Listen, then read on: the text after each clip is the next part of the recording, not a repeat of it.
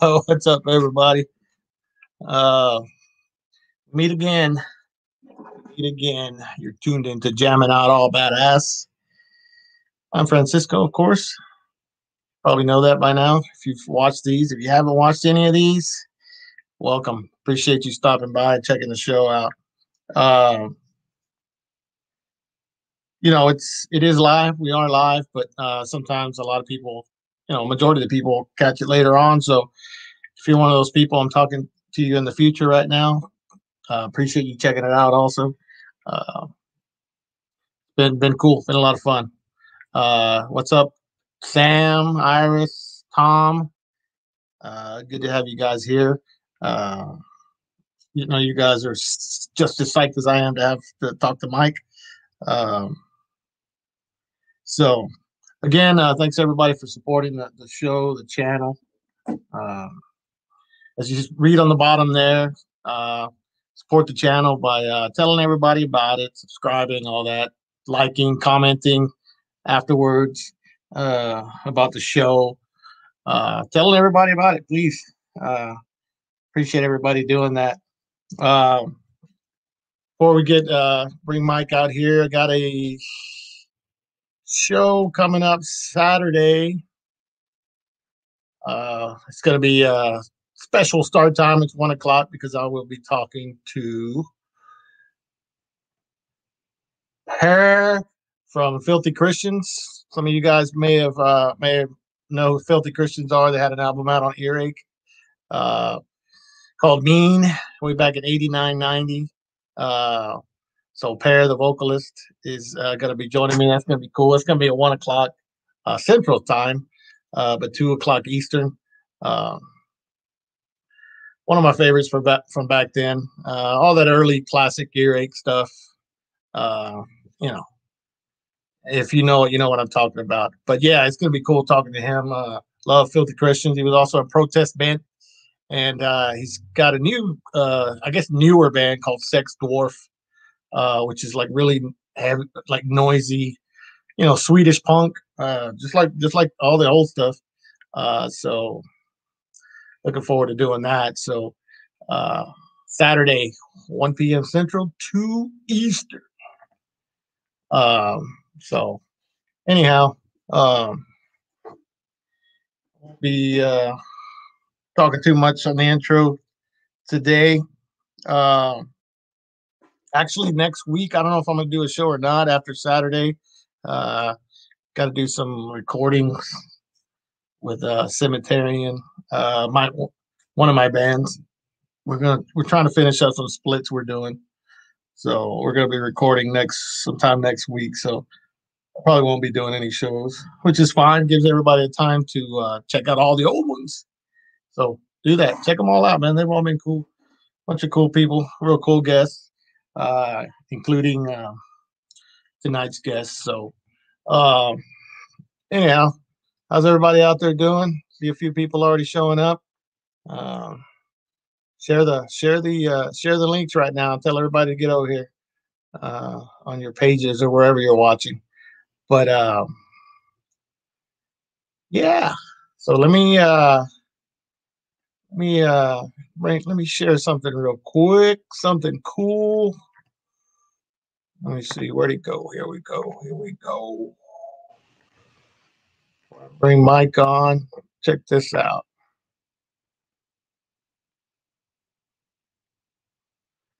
Cool stuff. Cool stuff. Check it out.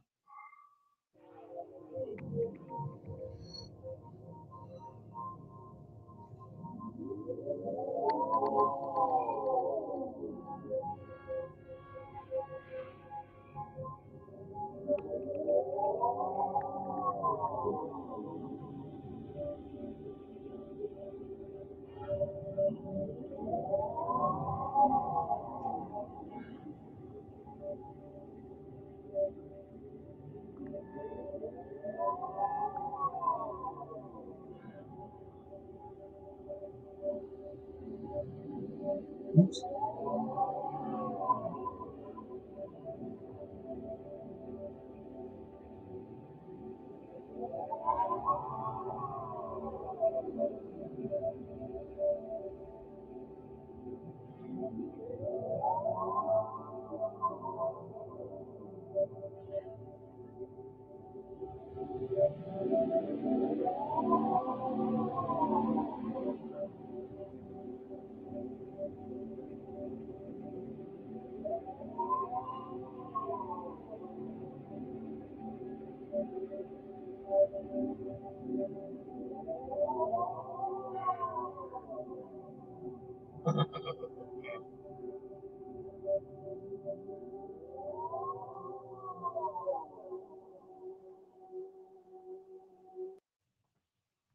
Yeah. How cool was that? All right, so uh, we'll talk about that here shortly. So uh, my guest today really knows needs no introduction if you're into extreme uh, underground music.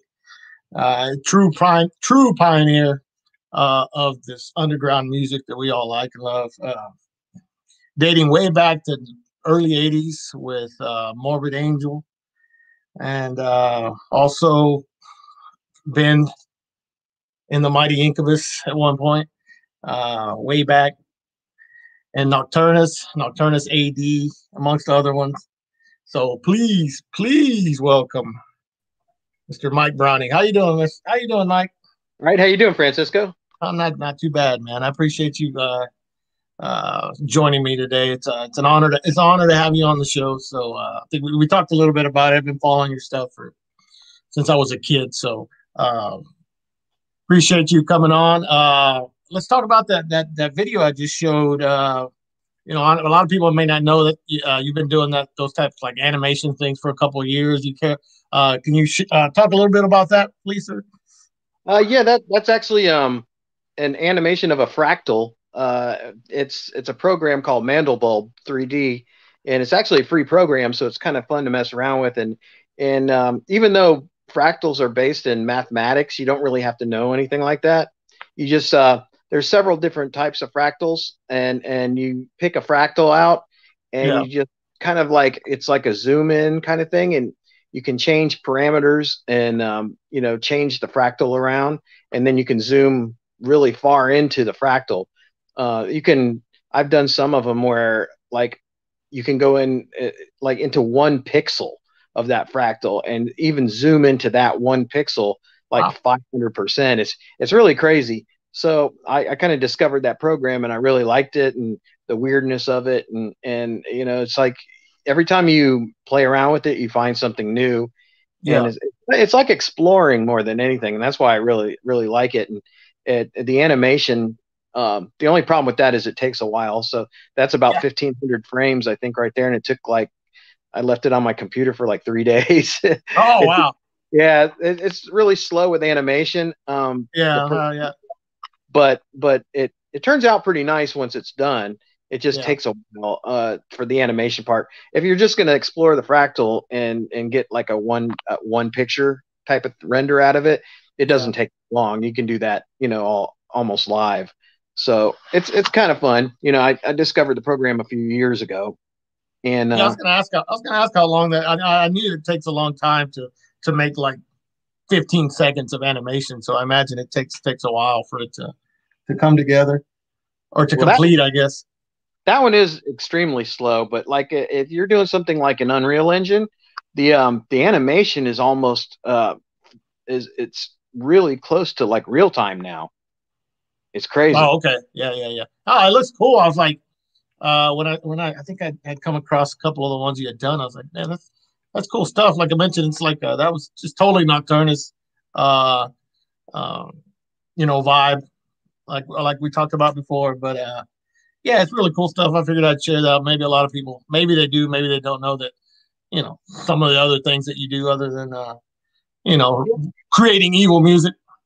I have a YouTube channel, so I got you know several fractals that I did, and, and I use a, uh, a, a software synth and make the music. You know the sound. I shouldn't say music because that's not really music there, but uh, it's like you know the soundtrack to it. And oh, okay, and, that's awesome. so I do all, all the sound as well. You know, to are you uh is your YouTube channel just Mike Browning? Yep.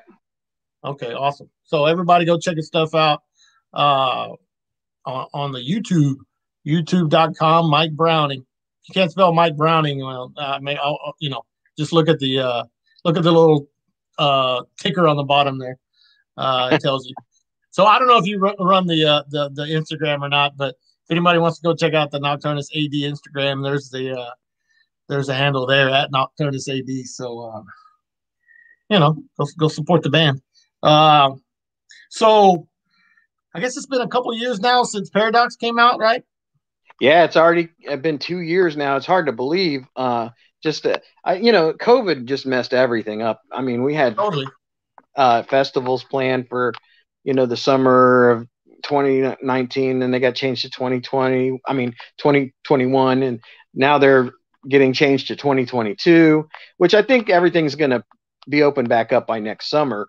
But Yeah. it, it really put everything behind, and and you know, we we we usually only practice like on Saturdays anyway, so it, it does take us since we only practice once a week.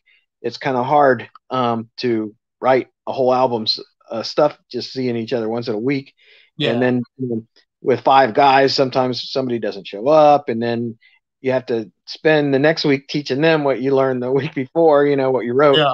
so but we, we're actually working on the next album and we've got we're working on our eighth new song so it's coming along really really good too i'm i'm real happy with all the new stuff that we got once we, we're going to do another nine songs and then we're going to do one Hell yeah. old old song from the first demo that uh, oh, really? gonna- Which one?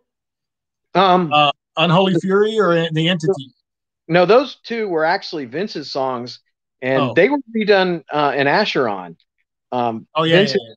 had a band called Entity before he even joined Nocturnus, and uh, so when Vince joined Nocturnus in 1987, and he was playing guitar. Uh, he had a whole bunch of songs from Entity, so we incorporated all those songs into the early Nocturnus versions and Yeah. that's why Entity and uh, Unholy Fury were on there. But once once um when Vince left and moved up north, he, he you know he kept all his songs that were his, even though they became early Nocturnus songs. Yeah. He still wrote them, and I was like, well, you know, I, I don't want to keep playing these, you you know. So either you know, so he kind of took those with him, and then when I ended up joining Acheron, you know, we brought a few of those songs back, you know, and it was it was kind of cool, you know. So we re-recorded those newer, you know, versions of them. So Yeah. that's kind of like what happened to that. But uh, there's a song called Nocturnus. Oh, yeah. Yeah. That's the first song. Yeah. Yeah, and uh, Hell yeah. That's a great song. and and when I was uh, when I had After Death, we did a version of it on on the uh, on on the Retronomicon uh, CD, and uh, so we kind of took both of those versions, kind of put them together, and then put some more new stuff in it, and have a brand new version of it. Because the weird thing with with with that song Nocturnus, and this is why we did it, is the lyrics. I, I'm I you know everybody knows that the key story is like on the key, but it's only like really the key story is only like the last four songs. Right. Um, the other songs before that have their own kind of uh, thing to them too. And what happened was Lake of Fire and Standing in Blood just seemed to make a little story of their own together. So when I realized Lake of Fire and Standing in Blood kind of make a story uh, Yeah. that continues, when we did Paradox, um, I continued that with Seizing the Throne. right. So it kind of goes like Lake of Fire, Standing in Blood, Seizing the Throne, and now um, what's really weird is the so- the lyrics to Nocturnus are the fourth song. It's it's actually what happens after after uh, Seizing the Throne. Oh, okay. Cool. So, and it it didn't it wasn't meant to be that way because that was actually one of the first songs I, I ever wrote lyrics to for Nocturnus was Nocturnus.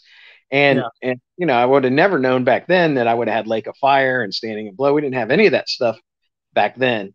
So it's kind of funny when I after I wrote Seizing the Throne, I was like, wow, the lyrics to Nocturnus are actually the next song. And it kind of completes the story. So Yeah. I said, cool. it'd be kind of cool to do Nocturnus as a bonus track for the next album and just Yeah. have that uh, kind of an extra thing that it probably won't be on the vinyl because I think the vinyl will be too long uh, to do that. So Yeah. we're you know have it as an extra bonus track for like the CD and stuff like that. Yeah, I was listening. I was actually listening to Paradox, and I know uh, there's like I think you said four songs on there that kind of tie into to the key album. I guess the lo- lost. Uh, I, I can't remember the song titles now, but like, It's the last four songs again. I did the yeah, same. okay, okay, okay. Yeah, we did. Um, it's the Antechamber, uh, Return of the Lost Key. Um, oh gosh, it's been a while since I've even listened Uh, to that. season, of- yeah, yeah, yeah, yeah, Uh, yeah. and- can't remember the titles offhand, but uh, and it ends up with uh, Aeon of the Ancient Ones, uh, and kind of like number nine. That's why that was an instrumental, and we didn't really have a name for it. So yeah. it just kind of was like an outro uh, to the story. So mm-hmm. we kind of added that in, and then on this next album, we have four songs again that continue with the story from from the key to paradox to this new album. Yeah, yeah, yeah, yeah. I've been listening. I was I was listening to to the album, and uh, I, I think I think it's a it's a it's a damn good album. And I think uh, I remember reading before it even came out, you had talked about uh, you know uh, it being like what the second album from Nocturnus was supposed to be, kind of uh, pretty instead of like thresholds, uh, like uh, Paradox would would have been like after the key. Uh, and I I mean I, I think you guys did a hell of a job on that album. Uh, um, being it's been two years now, how do you how, uh, what do you, what are your thoughts on that album? Two years later. Well, I'm I, I was I, I knew we had a, a good sounding record, and and it turned out sounding a lot like the Key too, which is was a big thing we were really really looking to do, and you know, of course, continuing so many of the stories off the Key. Yeah. It, it, I wanted to do that back then, but then I didn't end up singing on Thresholds, so I didn't yeah. end up really. I think I wrote some lyrics. I wrote uh, Tribal Voodoo and some other stuff, parts yeah. of other songs, but you know, on, on Thresholds, I, rarely, I barely wrote any of the lyrics uh, on that album because everybody was like, "Oh, now that you're not singing, we want to this and that." But really, for them, it seemed like more it was all about they wanted to get paid more for for for writing more.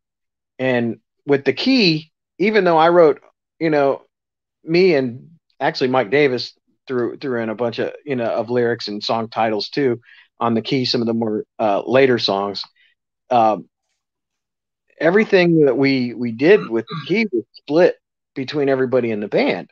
I never was like, oh, I wrote, you know, 70% yeah. of the lyrics, so I want 70% of the money. I, I, never did anything like that, and I still don't do that. Um, in in in Nocturnus AD, I write all the lyrics now, but I, I, I don't take 50% of the royalties, you know, or anything like that. I believe, you know, I mean, with with this with Paradox, we all, well, especially me and the two guitar players, we sat in there and worked on these songs all together, and and the first time I it, like in Nocturnus, Mike Davis wrote a lot of stuff, you know, most of the songs. And and Gino wrote a lot of stuff too when he was in the band, but we changed almost every rhythm that he wrote from if you listen to the difference between Science of Horror and and um yeah. you know we changed stuff uh, so it wasn't a, all the same. But I didn't want uh, and, and and like with After Death my other band when Damien was the guitar player in that band he wrote most of the guitar rhythms. So with Paradox, we had two guitar players, you know, Demian and Belial, and I said, look, this time I want to I want to do something different. I don't want you to write a song and bring it in. You know, I, I don't want him to write a song and bring it in or anything like that. We're going to sit down in this room, the three of us, and you're going to throw out a rhythm and we're going to learn it. Then you're going to throw out a rhythm and we're going to learn it. We're going to make those two rhythms fit. And then we'll go back and forth. So yeah.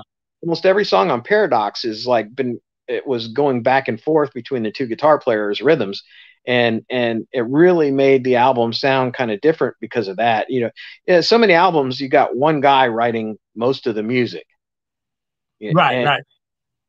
And yeah, yeah. I mean that's normal, but I wanted to make sure this was a little different. And and I mean, it worked out. It worked out. I think the album album's great, and it, it sounds like enough. You know, like like like what you guys wanted it to, to or what you talked about you know, before it came out, what you were going for. I think it came out great. Yeah, we spent, you know, we luckily we had a lot of time to do that because we've been together for like, you know, I think with Nocturnus AD, uh, well, of course, most of the people were in After Death as well. So some yeah. of us have been together for 12, 13 years.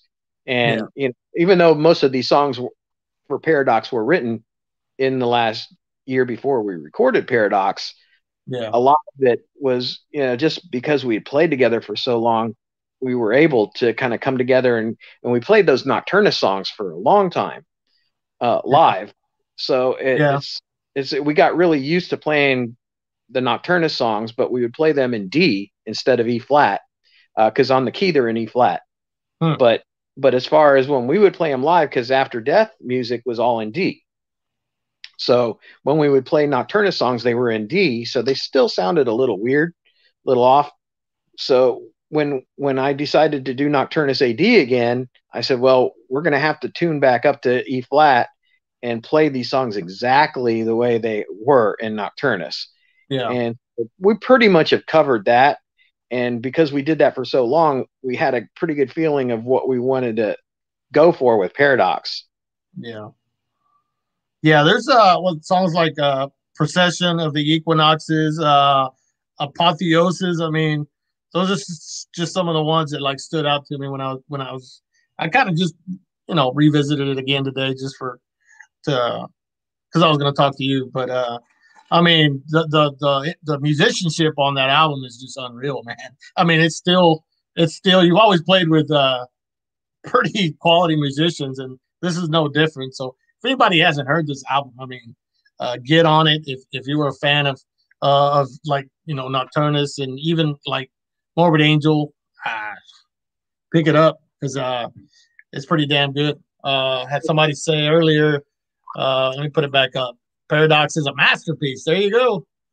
Awesome, awesome. You know, you never know. You know, today with all the keyboard warriors out there and people love to cut cut on things and oh yeah it, it's like I, I really wasn't sure what was going to happen with it and i i never thought that people would actually say it you know it's like it's the perfect record to follow the key because the key kind of was just a moment in time and because keyboards weren't used it, it kind of like became the first death metal record with keyboards even though you know other people used keyboards before that for sure right.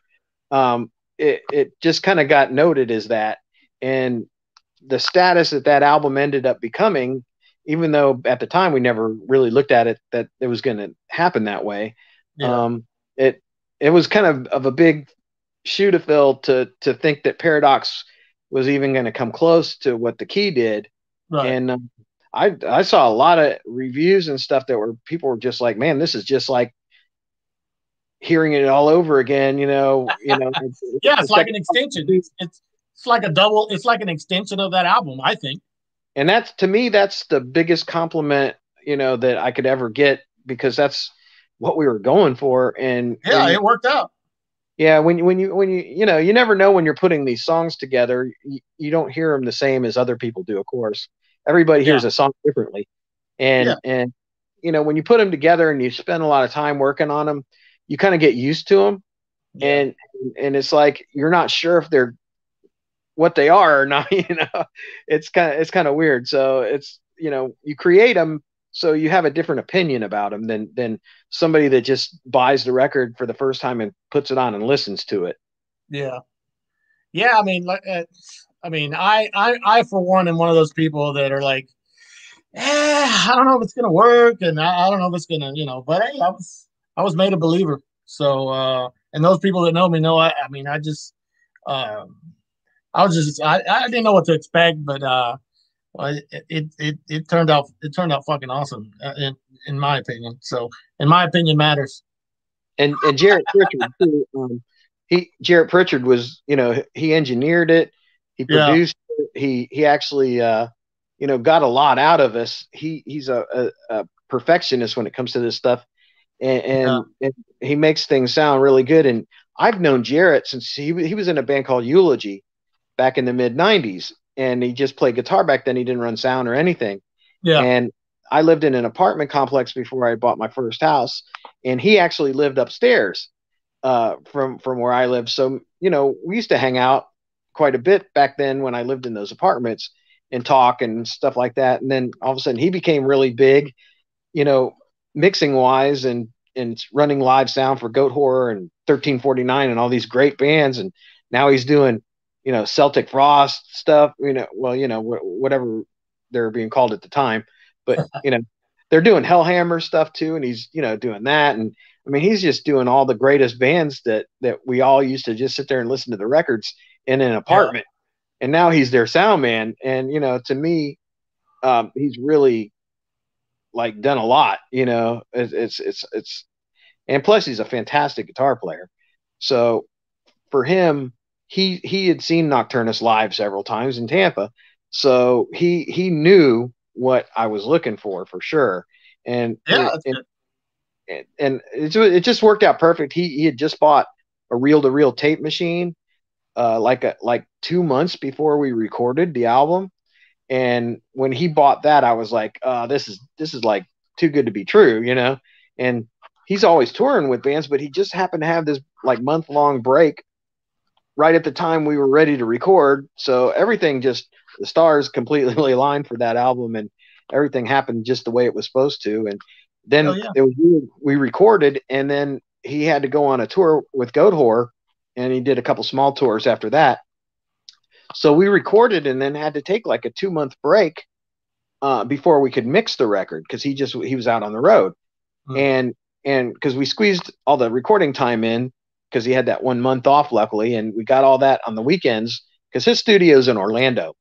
So we would literally, you know, every weekend we'd drive to Orlando and record, and we we didn't have to like do it all in one week, which was kind of Yeah. nice. And then we got to sit back and listen to what we recorded for like two months before he started mixing it. And then so when he got back off these tours, then he mixed the album uh, like in December and January. And and uh, it was it was kind of cool because we got actually he would you know do a little bit of a mix and send it to us, and we're like, okay, turn this up and turn the you know, it, it, Yeah. it worked out really well because we had that time to sit back and listen to the recording before we actually mixed it. And most bands they have to do everything in like a week or two. So they got Yeah. the studio time book and they have to record and mix and master all in like this two week period or three week period or whatever you know it is. Ends up being Yeah. some of you know one week period. And and you know people are doing albums really fast these days because of equipment wise and you know things like pro tools and things like that. But we we ended up using the tape machine for for my drums.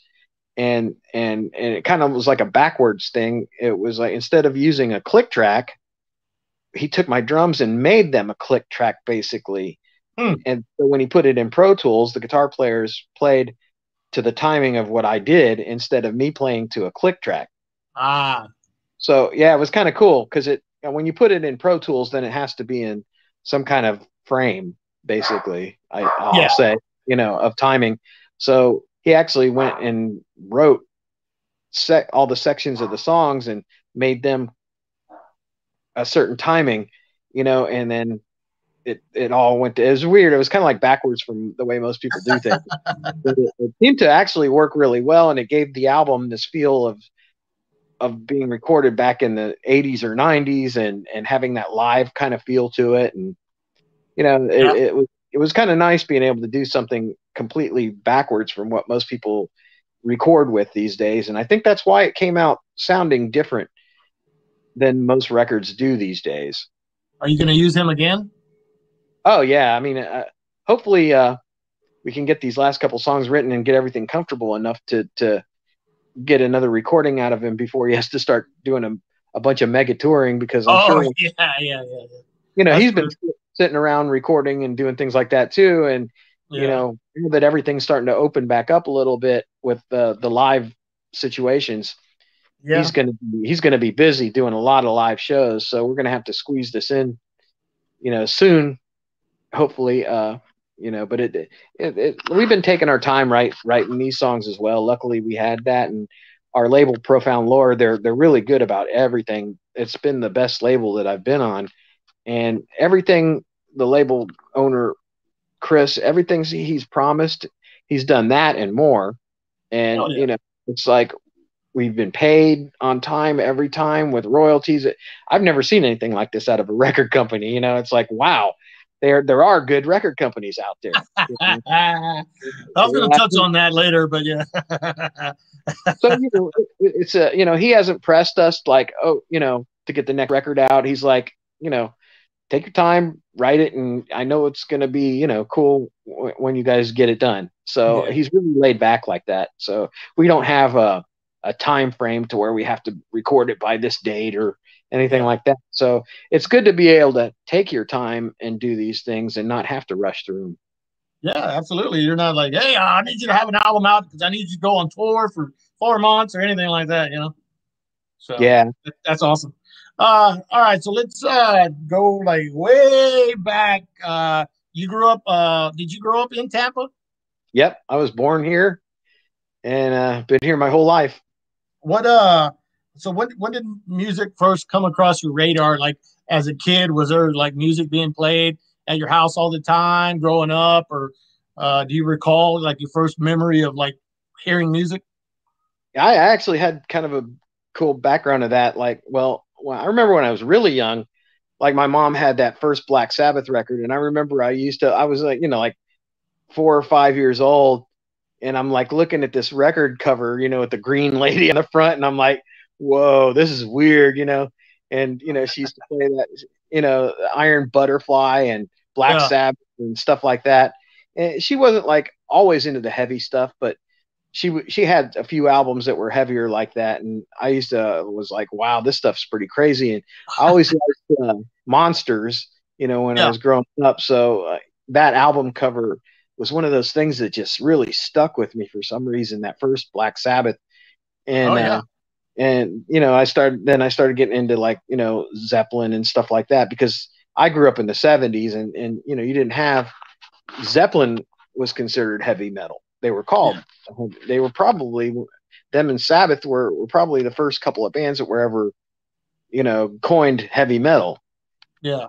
And even though I wouldn't really call much of Zeppelin heavy metal, I, I I love the band, but you know, you can't really say that they're a heavy metal band, you know, by any means.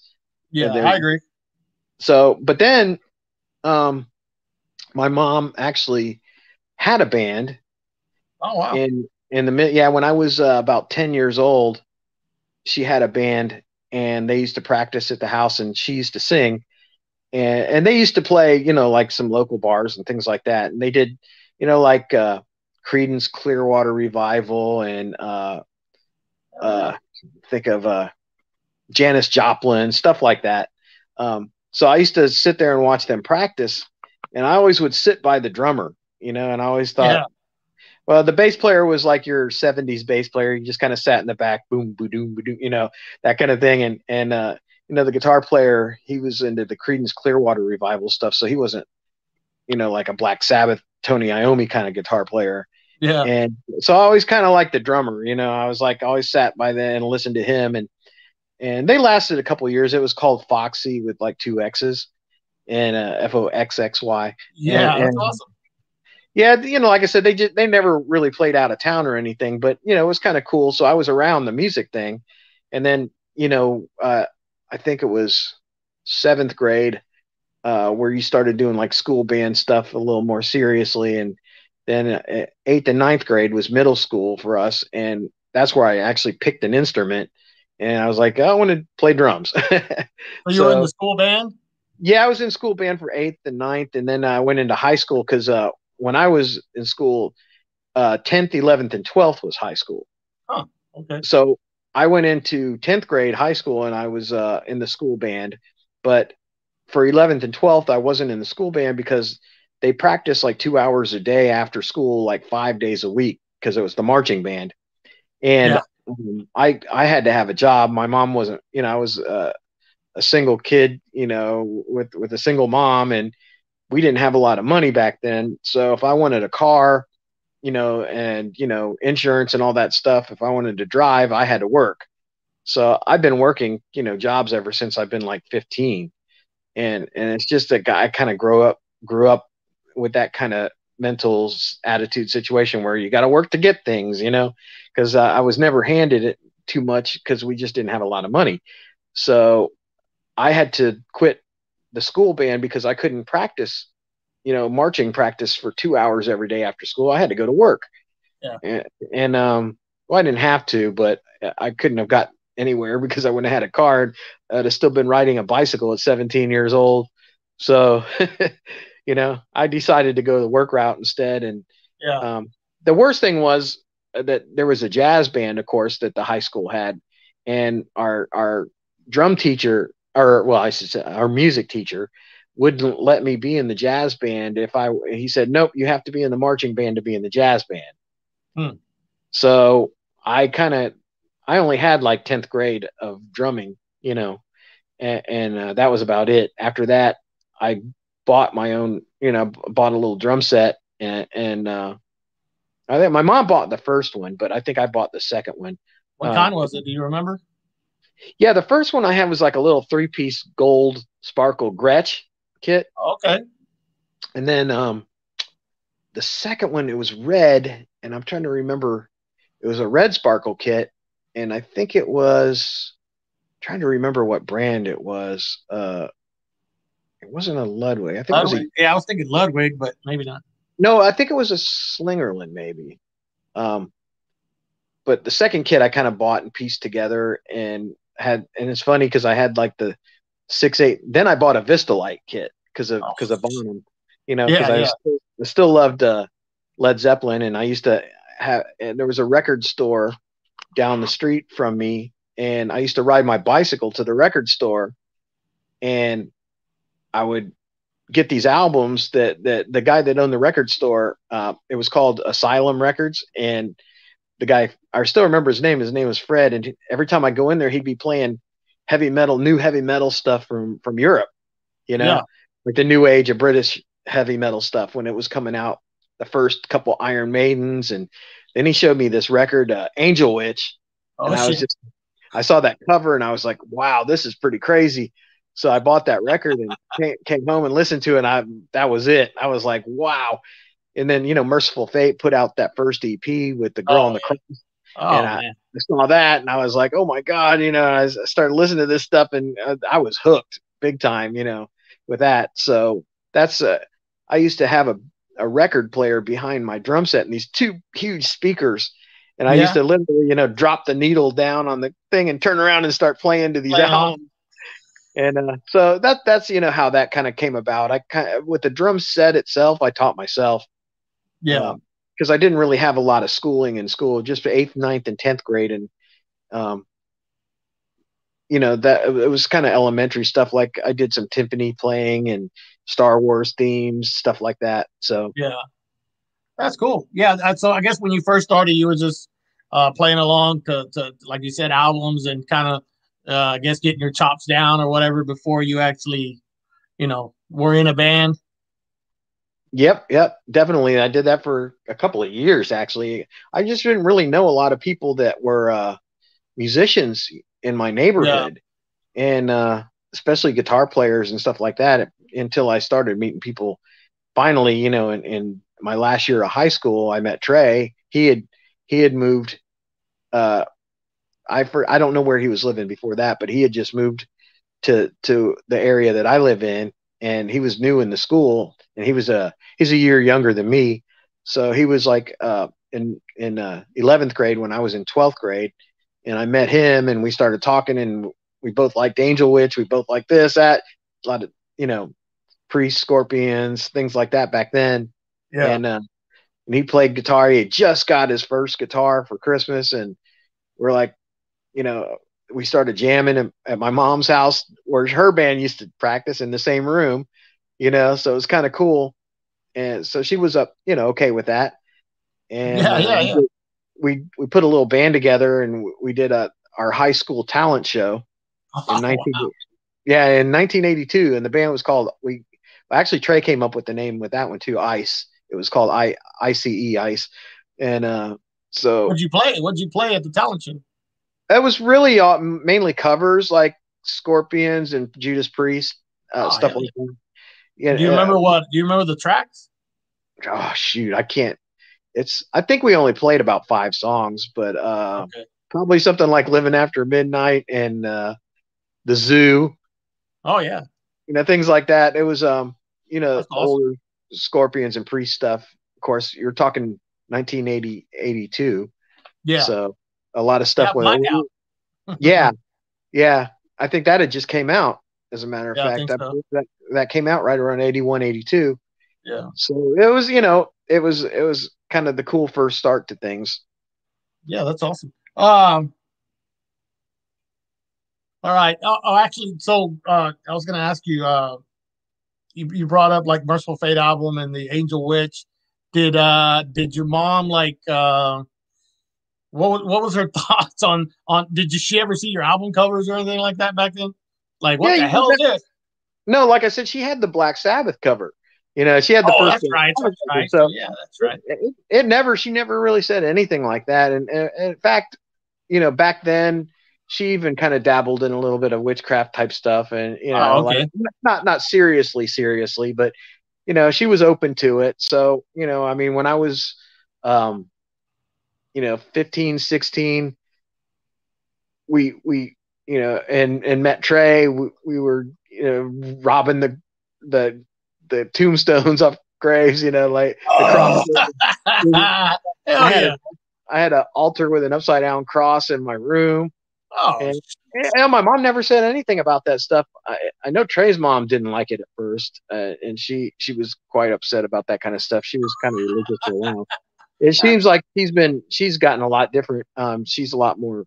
She loves what Trey does now, so you know it's it's. Yeah, uh, you guys were doing that in '82, though. Hell yeah.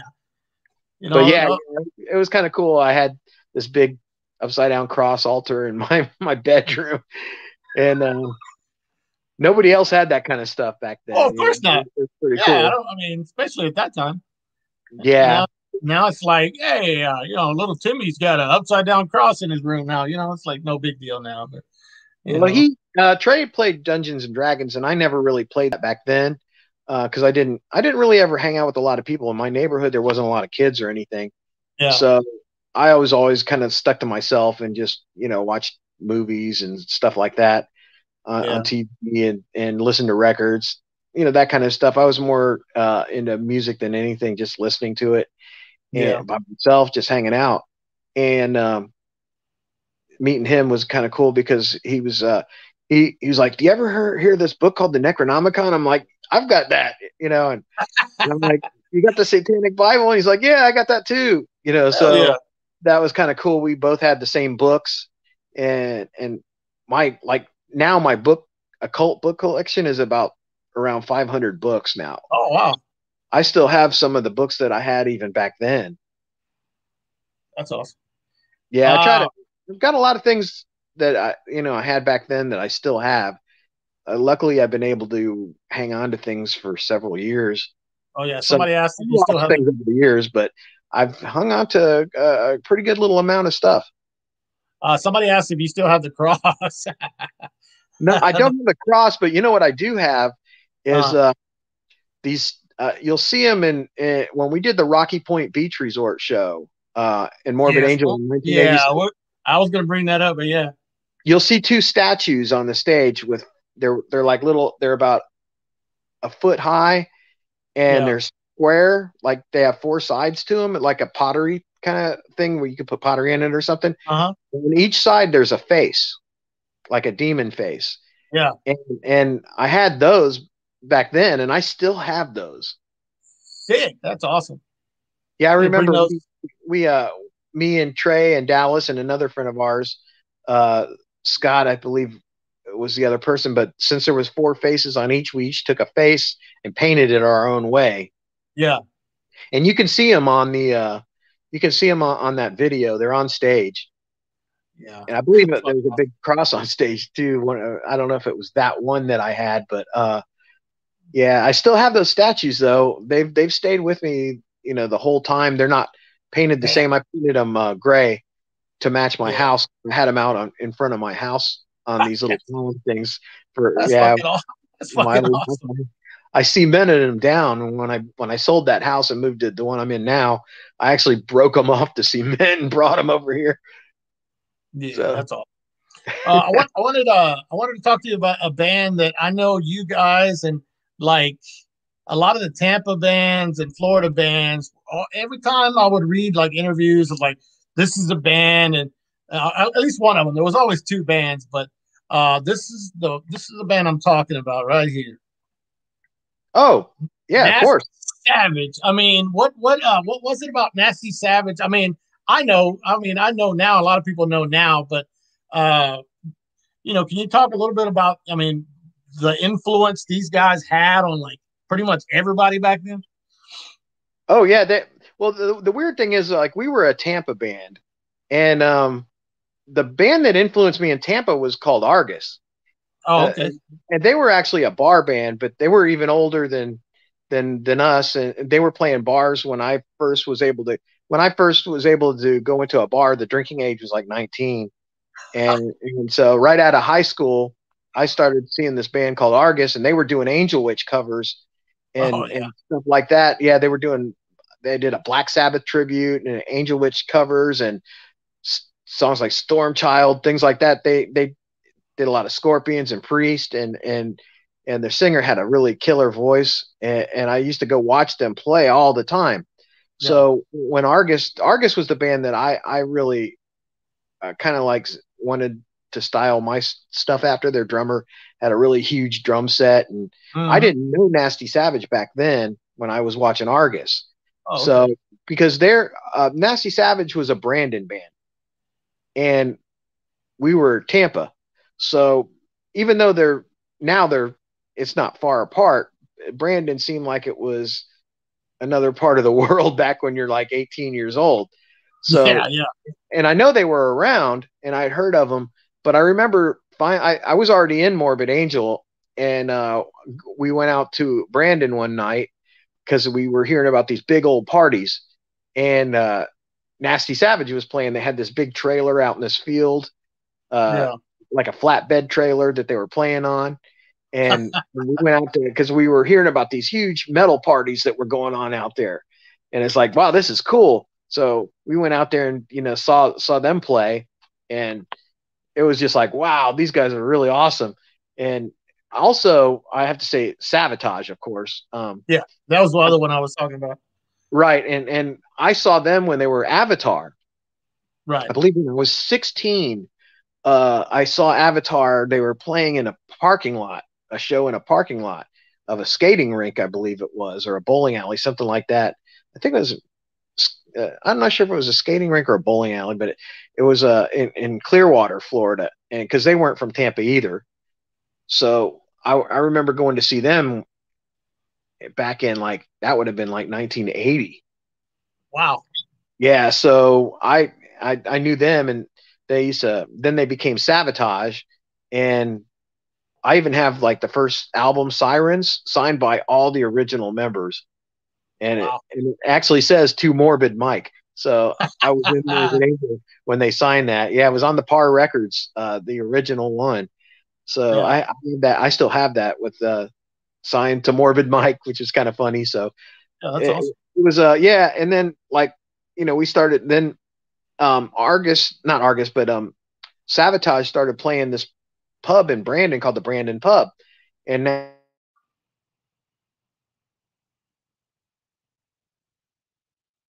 Oh. Bro, you froze up. We lost Mike. We lost Mike. He's frozen. He's frozen. Let's see what happens. Let's see if he comes back. uh,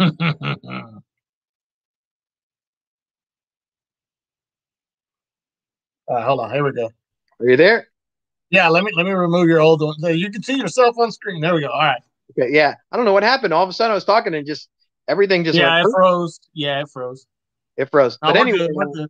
so the Brandon pub uh, had you know Savatage and Nasty Savage playing there, and it was really awesome. And I used to go there a lot. That's when I started driving more, and you know I was like I think I was 18 or 19 at 19 at the time, Yeah. right about then, and uh, and it was like a that was pretty much it.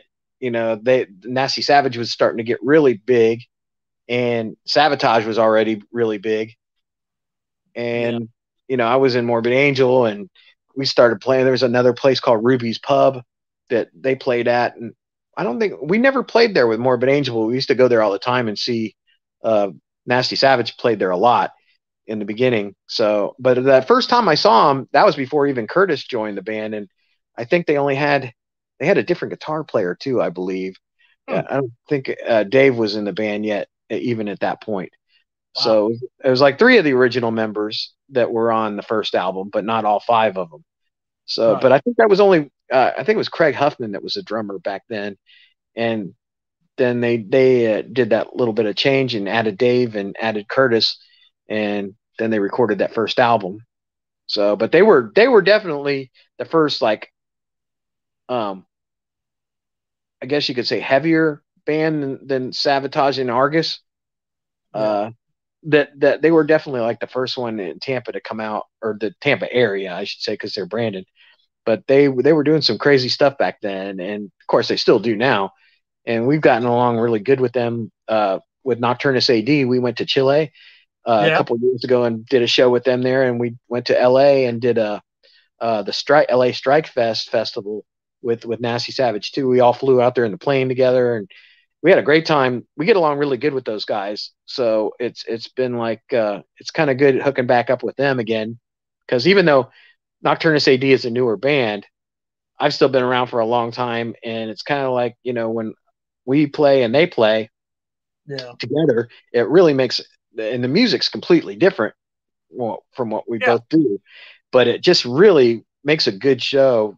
You know, us and Nasty Savage playing together. It's been it's been really cool. Uh, the, yeah. the the thing we did in Chile was awesome.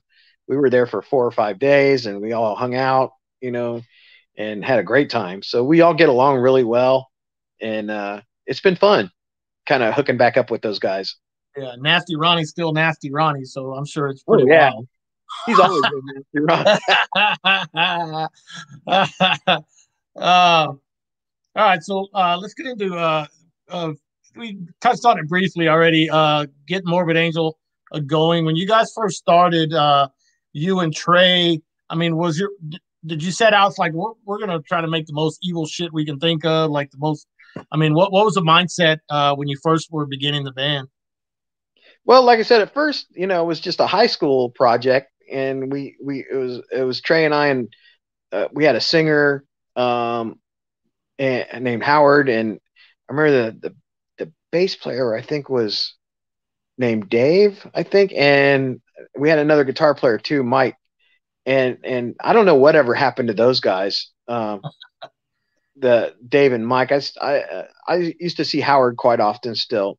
Um, he, I think he's living up in Maine or somewhere like that now. But uh, you know, first we were just doing some some some cover tunes, of course, and I think everybody kind of starts out that way. Uh, but right away, Trey's like, I want to play our own stuff. And I'm like, okay, you know, no problem there. So sometimes we used to get together and, and, uh, well, right after high school, he moved to the, to like the north end of Tampa, which was, like I said, back when you're a kid, it seemed like it was a long ways away. Yeah. we, we kind of didn't talk to each other for maybe seven or eight months. And then we hooked back up again and he had, uh, hooked up with Dallas and had, they had a drummer from Lakeland that was kind of older than them and he just wasn't kind of getting what they were doing. And they had a singer named Charles, and they were called Death Watch. Hmm. So Trey's like, yeah, the, the drummer we have is older than us, and he's not understanding what we're wanting to do here. And they were they were only doing originals at that point. And he's like, do you want to, you know, hook up back up again and start playing? I'm like, sure. Yeah, so I, I brought my drums out there and uh, we started doing Death Watch and then the singer got into some trouble. He was doing dealing some drugs. And he got into some big trouble and went to jail for like ten years. So it, that just left me and Trey in Dallas. And at that point, you know, we we kind of changed the name from Death Watch to Heretic, and then we found out there was a Heretic out in California already. And yeah. that's when Trey came up. Uh, this guy named Johnny, he said our band sounded really morbid because Morbid Tales was out. Yeah. At that point, and uh, Trey came up with Morbid Angel, and once we became Morbid Angel, it just kind of like it was weird. Once that name kind of came into play, and it just kind of all snapped together, and we uh, didn't even have vocals for a while. It was just the three of us jamming, and uh, we did. Uh, I remember we played out in a parking lot once too, uh, at a bar called Mark Twain's, and this was like 1980, and uh, no, not not not, not 80, 83. Sorry, this was 1983, and um, we had it was just the three of us, no vocals, and we used Argus's PA. and uh, they had like a car smash for cancer or something like that. And they had a car out in the parking lot. People were hitting it with a sledgehammer. you Yeah. know, for a dollar a piece, and and we were playing, and it was pretty crazy. And then, uh, yeah, there was a, a really neat little beach out there, and you know, back then a lot of people partied and had you know hot rod cars and stuff like that. And we used to rent a generator and go to like the Causeway Beach and just set up. I mean, pretty much just set up in the sand and with a generator and start jamming, and we'd get these big crowds of people watching us. And we didn't have vocals or anything. We there was a park we used to go to that had this really small little hill, and it had a gazebo on the top, but it had electricity up there. Yeah. and it had like a stone gazebo up there. And we used to go up walk our equipment up all these steps of this mountain little mount hill not mountain but hill. Uh and, you know it's probably about maybe 40 feet high or so. And we'd go up there and set up and start playing and things like that. Was- you know we just start doing that kind of stuff. And we were doing parties and Oh, yeah. uh, then we started trying out some singers and we went through two or three singers uh, trying them out and right, back then we were looking for a king diamond type of vocalist because Mercyful Fate was really big Yeah, there's an Yeah. early rehearsal with uh I can't I don't know who the vocalist was where he's going ah or whatever. I can't I don't know That who that I can't remember who that was. yeah it was a guy named kenny we tried out Oh, Kenny Uh-huh. Yeah he was quite older than us too and he had a big pa and light system and he's like i can sing falsetto like king diamond so Yeah, yeah. we kind of jammed with him a few times and he's like oh my friend's got a studio you know let's go in there so we went in there and recorded a couple songs and Yeah. dallas uh, actually sang the backup vocals on that and he also sang the vocals to show kenny how to do it you know where they go Yeah. and uh like after we recorded we realized well this isn't working. This high voice with this music we need somebody that sings lower in a lower register. And Yeah. since dallas did the backups and he did a version with the vocals we were like damn this actually sounds pretty good right here. He had a kind of a Cronos kind of voice. So dallas became the vocalist. Yeah. and uh, then we kind of realized that most of the bands we listened to had two guitar players, and Trey loved to play leads all night long, and we liked that, but it was really empty. so um, I had met Richard Brunelle at a party, and and you know I was telling Richard, you know, he knew who we were. Morbid, we were already Morbid Angel at the time, and you know I said, you know, we are looking for a second guitar player, uh, mostly to play rhythms and stuff like that. And you know, and uh, he's like, "I'll do it, I'll do it." So Richard joined the band, and uh, we did a couple shows with where Richard tried to sing too, and and uh, but the problem with Richard was having a problem every time he'd sing, he couldn't play guitar at the same time, so he would have to stop playing guitar and sing. And we did a couple shows that way, um, with both of them kind of sharing the vocals. Oh, wow. And then Dallas got into a bunch of trouble w- with the law and got arrested and put in jail. So that left us looking for another bass player, and and that's when we got Johnny Ortega. yeah. And right after that, uh, a friend of mine that was actually from Brandon, that was a singer, uh, his name was Metal Mike. Uh, he had moved to to North Carolina, and one day he called me and said, "Mike, I'm I'm in this band with this guy named David Vincent, and you know, and he he's a bass player, and I'm I'm singing, but he's got a, a financial backer, and he's got a label." And I told him about you guys, and uh, you know, and, all the stuff you guys were doing, and this and that, and uh, he wants to sign you guys, and he's got you know quite a bit of money behind him.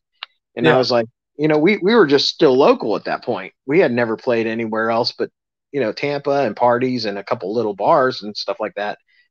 And so David sent us a con- a recording contract, and we are like, okay, you know, we just signed it right away, and we went up there to North Carolina and recorded the Abominations record, Yeah.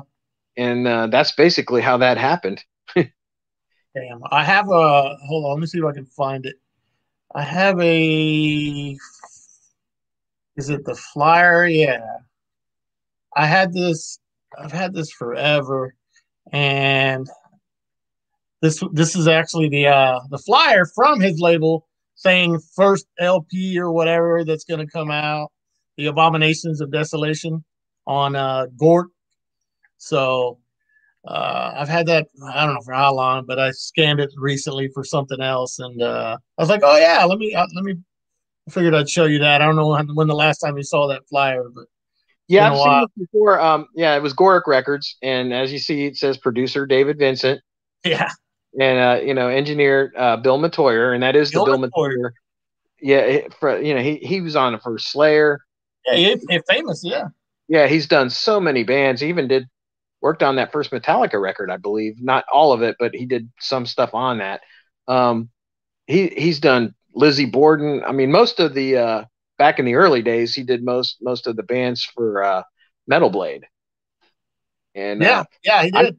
I, still talk to Bill. We've we've stayed friends all these years from from just meeting him that one time back then, um, and working with him. So we still talk all you know on, on Facebook quite often. I'll say, "Hey, Bill, what's up?" And he's like, "Hey, Mike," you know. So um, he's a really good guy. Yeah, he's. Uh, I mean, Bill Metoyer. If you if you've been in metal for a while, you should know who that is. I mean, he produced all yeah. kinds of, you know, uh, yeah. Metal Blade, especially for Metal Blade, right? Well, you know, the thing was, uh, we recorded in North Carolina, and it was actually a country music studio. So the, the two guys that were in the studio that owned the studio, I believe they owned the studio or they worked there. The two engineers that were from that studio had no clue even what metal was at all, especially back then in you know 1986. Yeah, of course. So David was like, you know, like I said, he had a lot of backing money behind him, and yeah. uh, he uh, he he said, "Well, I'm going to get Bill Metoyer to engineer the record." Yeah. So we were like, "Okay, you know, that sounds good to us." Yeah, yeah, exactly. It was our first experience with anything like in a real real studio. You know, like we had been in some small little studios back then uh, in Tampa, but nothing like Morrisound or anything even for us what, back then. What did the engineers think of you uh, of the stuff you were playing at that time? Were they freaking out or had they heard it before? I mean, they were just kind of standing around like, "Wow, this is kind of strange," but I it's kind of they weren't really around that much. They kind of yeah. left uh left everything once they realized that that Bill was like who he was, you know, they were just like, "Okay, you know, yeah. Here, you know, here's the controls and David wasn't really doing any of the controls or anything. He just was, I don't know what he really did, but he was the money guy basically. So, yeah. Uh, here's, a, here's an older picture. I don't know if uh, I found this online, but uh, who's in this? Um, well, if you're looking at it, uh, uh, the guy on the bottom is Dallas, the bass player. Okay. Trey's on, on the right, and I'm on the left, and the guy in yeah. the middle uh, was a guy named Mark, and uh-huh. he was another one of those people. Like, a, well, this is when we were um, um, heretic. Oh, okay, wow. Yeah, and we were trying out singers even back then.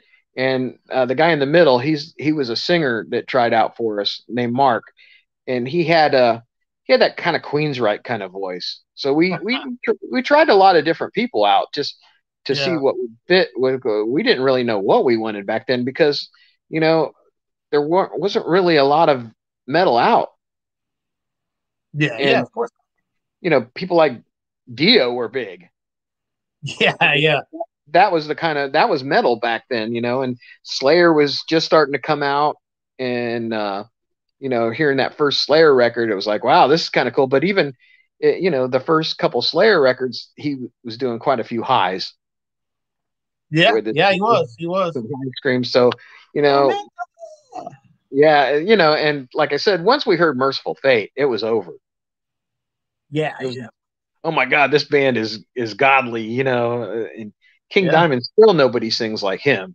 No, no, no, you know, I mean, I've heard people sing sort of similar, but I mean, he still has that totally original voice. Yeah, and Mercyful Fate, nobody will ever be able to like uh, recreate that. Just those guys that did it back then, you know. Oh, I know. Uh, German. They were just an amazing guitar team, and oh yeah, and, oh, you know, amazing. It was it was such a those. I mean, Melissa was just a, a masterpiece to me, and then then it went into Don't Break the Oath, and it just was like, wow, listen to these songs. You know, it's like wow. Did you get to see him on that Don't Break the Oath tour in '84? Um, Did they no, play down that way? Oh, okay. No, you know the thing was bad. They never, they didn't come to Tampa till much later. Oh, okay. Yeah, kind probably that reunion together uh, when they got back together again. Yeah, '93. Yeah. Yeah. Um, I did see him then. Yeah, me and, too. But before that, I never really got the opportunity to because a lot of bands back then missed Florida uh, and didn't come down there. Yeah. And just because of the way Florida is, it's it's a long state, and you kind of like eh, you got to get down to Miami to play, but then you got to go all the way back up eight hours yeah. to get back out of Florida. So a lot of these bands um, didn't come to Florida back then. I mean, if you look up north and you see all these shows happening, you know, uh, in New York and places yeah. like that back in the 80s, and the, you didn't get half of these bands that would come all the way down to. Yeah, it was just. Yeah, it's a logistical nightmare. It's the same thing here in like in Houston area. I mean, you know, we're kind of out of the way, but you know, it's gotten it's gotten okay. Uh, here's one of the coolest photos I've ever seen of you. This one right here. How how, how long ago was that?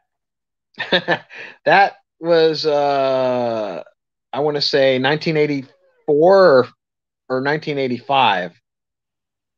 And what that wow. is, uh, that backdrop behind me. Yes. It's a Black Sabbath. Oh Black. yeah, it sure is. Yeah, it's, realized, yeah, it's uh, it's the uh, yeah, I know exactly what that is. And uh, Trey actually did the the uh, Morbid Angel over it in red. That's I don't right. know what happened to that, but um, yeah, it was. He used to be able to buy these flags, all you know, like in the yeah, record yeah. and, and uh, banners, flags, whatever you want to call them. Uh, and Trey had bought that one, and I and uh, he took red paint and painted Morbid Angel over the Black Sabbath. So that's funny. It kind of it was cool. Yeah, it was funny. It, you know, it, it, worked out pretty well. But I think that that was actually a party that we played. Oh wow. Yep.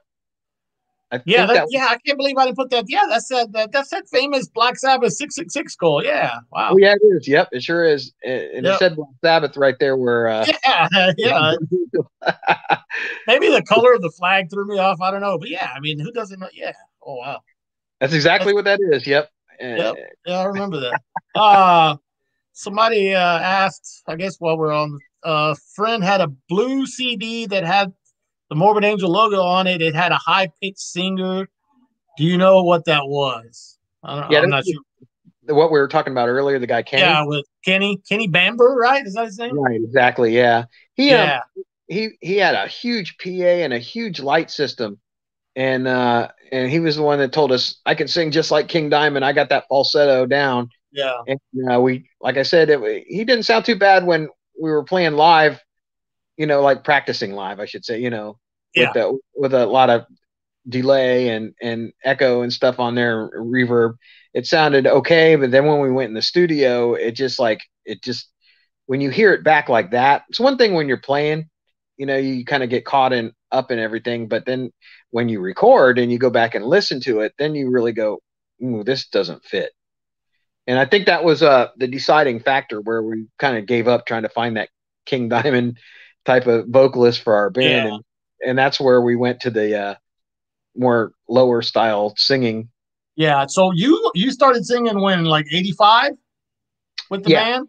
Yeah. So what uh what I mean your vocals at that time, I mean, other than like at that range? I guess like Bathory, maybe. I mean, what what what made you? I, guess what influenced that vocal style that far that long ago at that time? Well, I would say definitely Bathory was one of the ones that you know that that I I, I used to listen to a lot, and yeah. um, but the weird thing about it was I never really tried. It just was like that's the way it came out of my mouth. You know, uh, we had Dallas was singing and it was actually going pretty good, and then we had Richard doing some vocals too, but like I said, he he every time he tried to sing, he had to stop playing guitar. He just couldn't get the that part down. I mean, eventually he probably would have got it, but his vocals were kind of you can hear that in a, there's like a recording called the Power Company. Uh-huh. Uh, from the Power Company, it's like a 1985 or early 85 or late 84 recording. We played there a couple of times, so I'm not sure which recording. Um, was the one where where they were both singing on it, but you can hear the difference between Dallas and, yeah. and Richard singing uh, the different songs. And when Dallas went to jail, that just left Richard singing, and, and he couldn't sing and play. You know, there was a lot of stuff. Yeah. Um, that that he uh, couldn't do at the time. So I was just like, I knew the words, I knew what the band needed, and and I used to listen to Exciter a lot. Yeah, and and their drummer sings. Yeah, Dan Beehler, Yeah, yeah, and I was like, well, this guy can sing like that because he had those killer highs too. Yeah, and of course, I never really tried to do anything like what he did because, uh, but I was like, if this guy can sing like he does and play drums, I should be able to do that too. So you know, it was a good because I already knew the the words. I you know, it, it I I already had them memorized from hearing everybody else singing.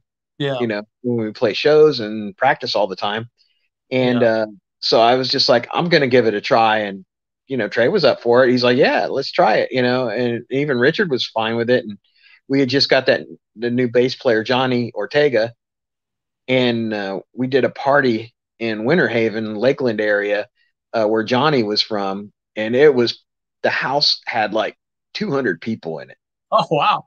And it was the first time I had sang live, and it actually just went really well, and everybody was flipping out and wow, we've never seen anything like this before. You know, it was crazy, and, and uh, things kind of just like took off right from there. Once we got uh, Johnny in there, and and and I started singing.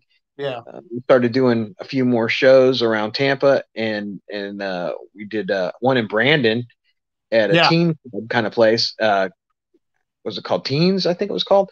And and uh, like Nasty Savage used to play there a lot, so it already had a great crowd coming there. And and we um we played there with Massacre, and and it was like we had played a uh, we had played that Power Company with Massacre too, and and that's when Richard and uh, Dallas were singing. But uh, we played that Teens Place with Massacre, and it was the first time I had sang really in a big in a, in a decent sized club, and it, it went over really well. Johnny had a friend, and they were we we had the fire, you know, a couple little fire pods and things like oh, that. Yeah. So we, we were putting a little show together with it, along with it.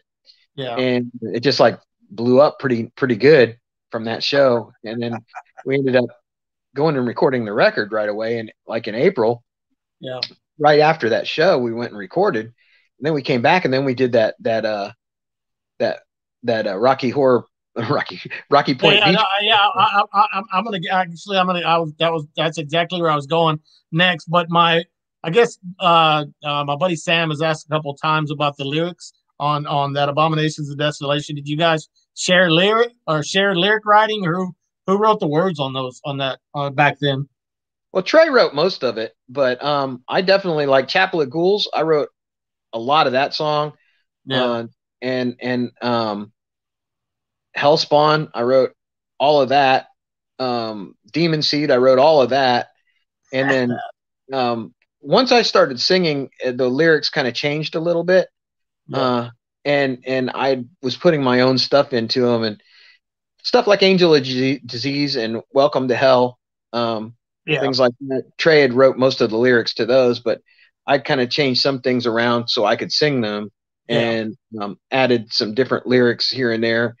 And so, I mean, most of it was Trey, but there was, you know, well, Hellspawn and and uh, and Demon Seed were all um, my lyrics, and then uh, Chapel of Ghouls was about probably half and half, I'd say, maybe Trey and me. Oh, yeah. And then some of the other songs, I just had little parts in here and there where I'd fix stuff and change stuff. Yeah, yeah. Was, I mean, classic. I, I mean, those lyrics are like you know, stay in your head. Uh, all right. So we it's been brought up a couple times already, but this is a very infamous show. Uh, the Rocky Point show. This is just one of the flyers from that show. I know I've seen several, but uh, this, uh, I mean, to me, it's. I mean, I, I think I have like all the soundboards from from I think from all the bands, but this is one of the most infamous like underground shows like of all time uh, one because of the bands, and two because of the the location where it was at. It looked like it was some kind of it was at a resort, right? Like a hotel resort or something. Yep. Yep. And sure uh, yeah, and who who who who put that show together? Who booked it? Um, the there was a. What's funny is is that was a hotel that was kind of um, situated right on the beach, uh, and again in that Causeway Beach that I was talking about before. That sometimes we used to just go up, go out there to part of it where more of the sand was. This was Yeah. on the beginning part of the beach where the hotel was, Uh-huh. and uh, they had actually they had a bar there and i remember there was a guy named dave edwards and he used to run the bar there and he used to book all the bands that would come into the bar and and what happened was they had sold the hotel and they were going to tear it down and build a new hotel so they wanted to have one big like huge bash before Yeah. that happened and and we were starting to get really popular at the time so you know Dave Edwards came up to us and said, "Why don't we do this huge metal show and get bands from all over Florida? You know, because Hellwitch was from down Miami area, Fort. Lauderdale, and you know, Ravage was actually atheist. yeah, Um, Ravage. Yeah. you know, and and um, like Executioner, of course, was Obituary, became Yeah. Obituary, and actually, uh, Executioner even played in the small bar that was there at the end of the hotel. There was a like an inside bar too. Oh wow. Dave Edwards had this idea of bringing in this huge stage outside and a big PA, and it was right on the water. And it was really cool. And we actually played two nights there, the 25th and 26th. And um, it, it was uh, what was really cool about it was was it was the last weekend that the bar that the uh, hotel was actually open. Oh And they wow. were, they were demoing the whole whole building. I mean, it was coming down completely. They were leveling it, and they were going to build a whole new hotel ground up. Yeah. And it's still there's a new there's a hotel there now, and I believe it's like a Hilton or something, a really nice one. And uh, so Dave was like, "You guys can do anything you want to this hotel." people were throwing the TVs out the second story windows, balconies. Uh, we were taking chairs and putting them into the wall and sitting on them up on the wall, like putting all four legs. And you know, like people were going down the hallway and just ripping the paper off the walls, the and putting kicking holes in the. You know, they didn't care. They were actually like, you know, hey, whatever destruction you do to this hotel is only going to help them tear this place down Yeah. Yeah. Yeah. Like, whatever and the whole hotel was sold out if you look there's a lot of people there and, and they sold out the whole whole hotel for the whole weekend and we had a couple rooms ourselves and we just destroyed that place it was it was fantastic the, stuff like that just never happens you know Yeah, there's a. I think uh, on one of the videos, I think at the beginning, I don't know if it's before Hellwitch, uh, but you see Pat from Hellwitch and somebody else like on on on top. Uh, I guess in a room somewhere, like calling everybody posers or something like that. But it's just Well, there's, uh, there's there's two recordings of that. I don't know uh, on my face on my YouTube channel. I have recordings. I've got the the one you see that's close up, but there's also one from from the soundboard that that actually Mike Borders from Massacre had for Yeah. all these years, and it got kind of like he found it after several years.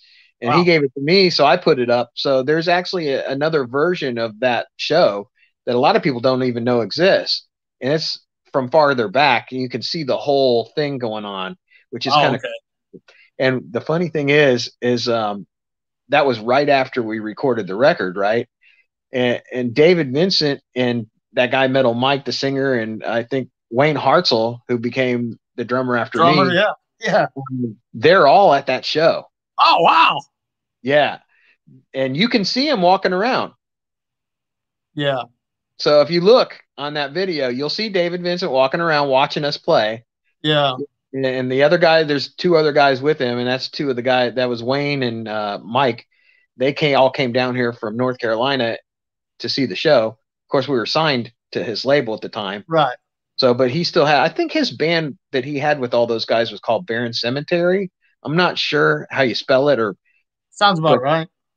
yeah, I think that was what it was called. Um, but they had a band, like I said, and and uh, they had a guitar player, Steve Skeletor from Hallows Eve. Oh, okay. He wasn't at that show there, but he was their guitar player, and he had just quit. So what I found out was David Vincent was looking for a guitar player at the time when he signed us, Oh. And when he saw Trey, he was like, "Oh, this guy's going to be my guitar player, no matter what." so um, yeah, it ended up happening. Yeah, I uh, I, I just I laugh I, I laugh because earlier you said uh, Trey really really really liked playing leads, and on that on that video, it's like it's like I think he up I think he even uh, he played leads even longer or, or more on the songs. It's just it's just on the video because it's a side side stage. It's, I guess it's on his side of the stage, right? Uh, on the video, and all you hear is like you know him him shredding away. So one thing we you know like before we had a vocalist, we used to just get up there and we'd play one song for like twenty minutes. And just uh, yeah, we would just like extend. You know, bands like Zeppelin do that all the time.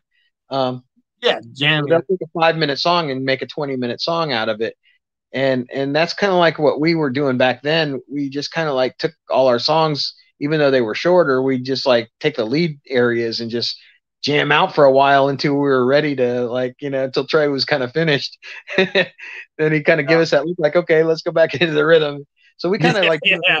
those songs you know that song morbid angel that we had back then yeah which became uh i forgot what it, it became uh it became a incubus song though was it engulfed in unspeakable no, no no no it became a, a a Morbid Angel song on oh on one of their later albums. Oh, okay. Yeah, I I'm not sure. Somebody, somebody in the in the in the chat, let us know what song that is.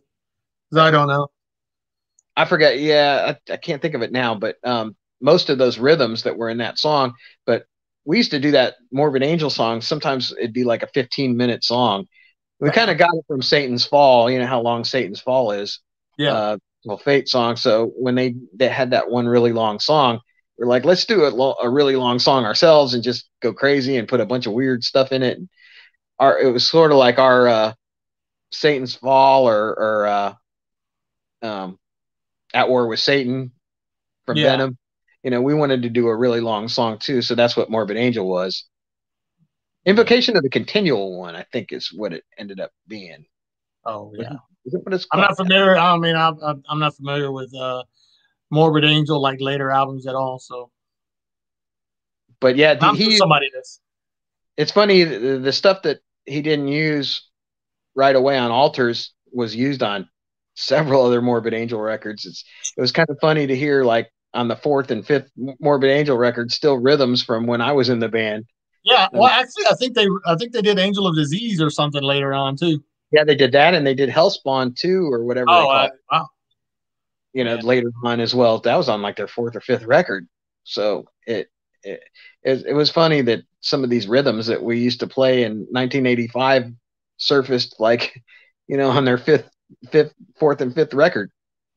Yeah, there we go. I knew somebody would let us know. Invocation of the Continual One. Right. Yeah, that's it. Yeah. On on uh, I guess formulas Fatal or Formulas Fatal or I don't know the exact title of that album, but uh, Hellspawn is on Formulas. Okay, I got you. Yeah, so some of that stuff that are on Formulas was actually from 1985. Yeah, crazy. All right, so uh, moving on now. A brief, uh, well, I guess we can briefly touch on it because the band was around for a very brief time. But uh, and I'm wearing the shirt today. But uh, this demo uh, I don't know. Obviously, back then you didn't, you didn't, you had no idea the kind of impact it would have, you know, thirty something years later. But uh, I don't know if you're aware of the impact this demo has had on the underground scene uh, over the years. But man, this demo is just like three songs of just like perfectly like executed like evil metal to me. And uh, uh, I don't know if you can briefly kind of discuss discuss uh, putting this demo together. Yeah, it, what was strange with that was um, after we recorded Abominations, uh, we recorded the record, and and Johnny Ortega and myself and Richard all got sent back to Tampa, and David kept Trey there by himself. I wonder why. Uh, maybe because he was looking for a guitar player and he, to mix the record. So I mean, there was ideas I wanted to do on abominations for my vocals that I didn't get to do at all because it's like, and we didn't know we were going to be sent back either. After the recording was through, was David Vincent was just like, "Okay, see y'all later. Go back home." I don't mean to cut you off, but what did you want to do? That I don't think I've ever heard uh, you talk about different ideas of vocals that you wanted to do. What exactly was that? Well, just different, you know, like you know, echoes here, oh, okay, here, things, you know, effect wise things, not not actually um different singing wise, but um different kinds of effects and things, ideas that I had that I would have liked to put into the songs. Uh, and we all got sent back, and he kept Trey there by himself. So when Trey came back, the first thing he said to me was, "We got to get rid of Johnny Ortega, our bass player." He said his tracks are just horrible, and and of course David played bass. Um, so I wondered what was going on there. Yeah, yeah, and, yeah. And uh, but the weird thing was David knew this guy named Sterling, and and uh, he's he's like David knows this bass player in Atlanta named Sterling Scarborough, and we've already talked to him, and and uh, we're gonna fire Johnny after these these uh these shows that we have coming up, the two Rocky Point shows. Yeah, we're gonna I'm gonna fire Johnny, and we're gonna bring in Sterling, and then uh, we're gonna go ahead and instead of because we were gonna release the album in September, and then uh, what happened was they wanted to redo the bass tracks and take Johnny's bass tracks off of there and put Sterling's on. So yeah. in July, uh, Sterling came down in late June, early July. Uh, I think it was late June, and uh, yep, and and so Sterling became the the bass player in Morbid Angel right there at the end. Yeah.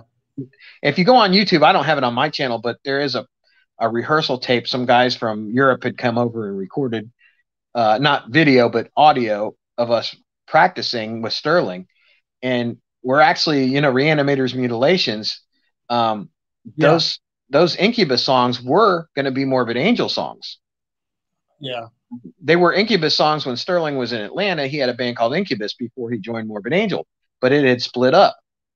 So when Sterling came to Tampa and joined Morbid Angel, he said, I've got some songs, you know, that I'd like to bring into Morbid Angel. You know, if you let me join, you know, if I join the band, I'd like to do these songs. So Trey was like, okay, you know, let's try it and see what happens. So, uh, Reanimator's Mutilation was actually a song we played live one time uh, as at the last Morbid Angel show that we did with Sterling. We only oh, wow. did one show with Sterling, uh, but we played uh, Reanimator's Mutilations and I sang it live. And uh, after, and then you know, Morbid Angel split in half, and Sterling and I, Sterling was at that point. He's just like, let's just redo my band Incubus. You know, those songs are mine, and and you know, I've got more. So I was like, okay. So we kind of we got Gino as a guitar player and became a three piece, and Sterling was singing at that point. Yeah. And I just played drums on it because the stuff was even faster than what we were doing in Morbid Angel. yeah, crazy. super fast. Yeah, and I was like, well, I don't mind not having to sing this stuff. yeah, Sterling a whole bunch of crazy lyrics and with long words, and and I was like, man, I don't know if I can sing and play all this stuff you know, at the time I was like, whoa. And he's like, well, I know that, you know, I can do it. No problem. So I was like, you know, we, we, the weird thing was, is we had a house that we rented, the three of us, and we had no PA at the time. So, so Sterling never sang. Yeah. So we didn't know how he could sing at all. You know, we already knew how I could sing because I was had already recorded Abominations. Yeah. But um, when we went in the studio and recorded uh, the Incubus demo, we did it in in one night. It, it was it was uh we had never heard Sterling sing before, and I remember Gino. We finished all the recording of the music, and then me and Sterling didn't want anybody in the studio when he sang. He didn't want us in there. so I remember me and Gino were sitting outside of the studio. Yeah. It was a real studio in Tampa, and uh, I think it was called London Music. Uh, if I'm, if I'm correct, I'm not quite sure what the studio was called, but I think it was called London Music because uh, Sterling was had booked the studio. He had found it and booked it and liked it. And, you know, yeah. that's what we wanted to record. So we were like, okay, because uh, he paid for the demo. And, uh, and I remember Gino and I sitting outside of the thing, and we could hear him just saying because we couldn't hear the music anymore because yeah. it was headphones, and we all we heard was him doing these crazy screams and you know, oh, like yeah, yeah, like, what the hell's this? And then we listened back to it, and it's like, wow, this is pretty cool. Yeah, so, fuck yeah.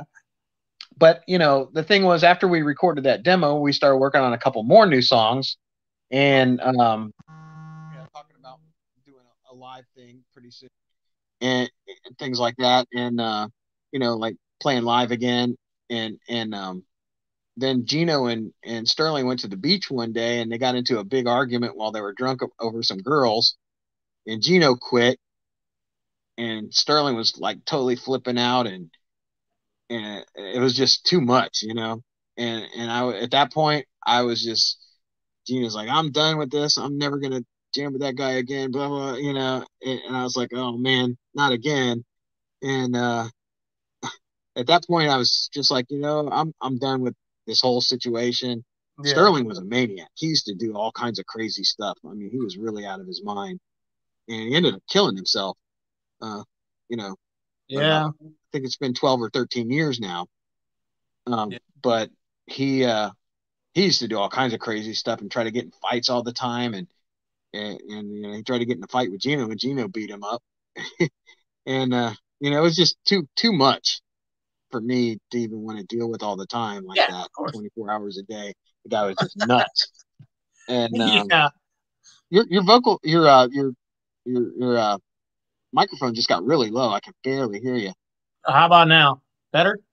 No. Huh. Strange. I I don't know why. for some reason. Nothing's changed. Well, I saw a phone call come in on my. Oh, on I don't my, know. Uh, yeah, I can. I mean, I am still. I'm still. uh I haven't changed anything. I don't know if you can hear me now. Yeah, something you, happened on my end because of a phone call that came in. Yeah. And it cut no, your vocals I, yeah, I can hear you just as fine as I did a while ago. I'm not sure. I mean, I'm all the way up on my uh, volume, but I can. I mean, I can hear you, but it's barely. I can. To... uh I can. uh I can talk louder. yeah, I, like I said, I can barely hear it, but at least I'll, I'll just have to really listen when you're talking. Um, yeah, yeah, yeah, yeah. So well, anyway, you know, that's when I decided. Uh, that's when I decided to just do my own band and do my own thing and get new people. Yeah. And that's when I came up with Nocturnus and and uh, got Vince and and uh, Bateman in the band first. It was just a three piece again. So yeah. uh, that's how it kind of started again on, on that. Oh, something just yep. Yeah. And in yeah. the beginning, it was just a three piece, and Gino wasn't in the band. Uh, but right before we went to record, Gino came back and started playing with me again. And he's like, you know, he heard he heard we were doing shows as a three piece. We did a few shows as a three piece with just uh, Vince on guitar and me and Richard Bateman on bass. And uh, Gino came to one of the shows. He's like, "Oh, you know, I'd like to start playing with you again." And I, I was like, "You know, okay." So we brought him back in the band. Then we recorded that first demo there. Yeah. And that was that, uh, 1987. So it wasn't, that was in the same year as we did the Incubus demo. So everything kind of happened kind of fast like that. Yeah. This, uh, and if y'all missed it at the beginning, uh, uh, Mike did mention that on the next uh, Nocturnus AD, they're going to do the track Nocturnus, I believe, right? Yes, exactly. One? Okay, yeah, yeah. I'm sorry. Uh, but yeah, this uh, and and I, I mentioned the two songs, Entity and uh, uh, Unholy Fury, which you said uh, Vince had brought with him to the band. But uh, I mean, to me, your vocals on here are it, it's it's almost exactly like Abominations of Desolation to me. I don't know what you thought, but I, it was still totally Morbid Angel like style vocals on this. Yeah, it was. Um, I mean, it, it was. Uh, this is 80, 87 that this yeah. demo was recorded in, and and Abominations was in eighty six. So it really wasn't that long after after after that, you know. Yeah. So my vocals, I don't know what happened to my my vocals. Just kind of changed on their own. I, I really don't try to sing any certain way when I sing. Uh, I guess because I'm playing drums and everything, and it just kind of comes out the way it does. So I, I I never try to strain and get really low or do this right. or that. I just kind of like let it come out on its own, and and however it ends up coming out is how it sounds. well, it fucking works. That's all I know. Um, and then after this one, let me see. I don't know if I have a copy of, uh, but I always I always thought this logo is really cool. That that logo on the on that demo, but uh, uh, who who uh, did you do this logo or who did this? No, um, that was done by a guy named Alan. Uh, we used to call him Brain Dead He's uh, he was Vince's friend. Oh, okay. Uh, and he was always hanging around Vince, and he was an artist, and he came up with that first logo like that. And then after he drew that one, um, Vince was out of the band. Yeah, because he had he moved up north to Pittsburgh, and he wanted to do Acheron his own kind of project at that point. Yeah. So um, when that happened, I, I uh, there was a guy that was renting an apartment that my mom had built onto the side of her house. A guy named Ron, and he he was a friend of mine for for a while too, and uh, he did the second Nocturnus logo, which was on the Science of Horror. And yeah. uh, he kind of took that first logo and redesigned it, and and uh, ever since then, Ron's still a friend of mine, and and uh, he's done all the Nocturnus logos, every one of them. Uh, like the first one on the key, he did. Uh, yeah. How it changed a little bit for thresholds, he did that one, and then uh, I got in touch with him again when I started Nocturnus AD, and uh, he redid he did the Nocturnus AD logo, and uh, so he's been you know kind of like a friend of mine since the beginning, and right after that first logo, he did everything after that. Yeah. Uh, just to answer this uh, individual, yes, he was talking about Vincent Crowley uh, when he was in uh, Nocturnus on the on the first demo. So just clearing that up. Uh, all right. So the key, you bring, bring up the key. I've heard you talk about uh, like when you guys went to record that. Um, I'm glad that you used Tom Morris on it but uh, I mean, at the time, it was Scott Burns this, Scott Burns that. Uh, and I think I've heard you speak that he wasn't available at the time or something like that. Or did you, or, or maybe you you you planned on using Tom Morris the whole time. But to me, I'm glad you used him because that album sounds great to me. Well, it, it, definitely doesn't sound like what usually comes out of Morrisound though. Um, exactly. That's one thing about the key. It, I, I don't think it has that Morrisound sound sound that, that Scott Burns had. That's um, good. For, that's good for me though. Yeah, I mean, you know, I'm kind of glad that we didn't get labeled that because I know, I, I, mean, everybody loves Scott, and I think Scott's yeah. a great person and everything. But what was weird was like after a while, it became like uh, almost people didn't want to use Scott because he had the Scott Burns sound, you know. But when when for the first few years, everybody loved everything that he did, and I did too, of course. And and but to tell you the truth, I really wanted to use Jim Morris myself. Oh, okay. And the reason in being was the Nasty Savage record. I thought the Nasty Savage record, that first one, Jim Morris yeah. did that. And I just great, loved the sound of that first Nasty Savage record. Everything was just right there in your face.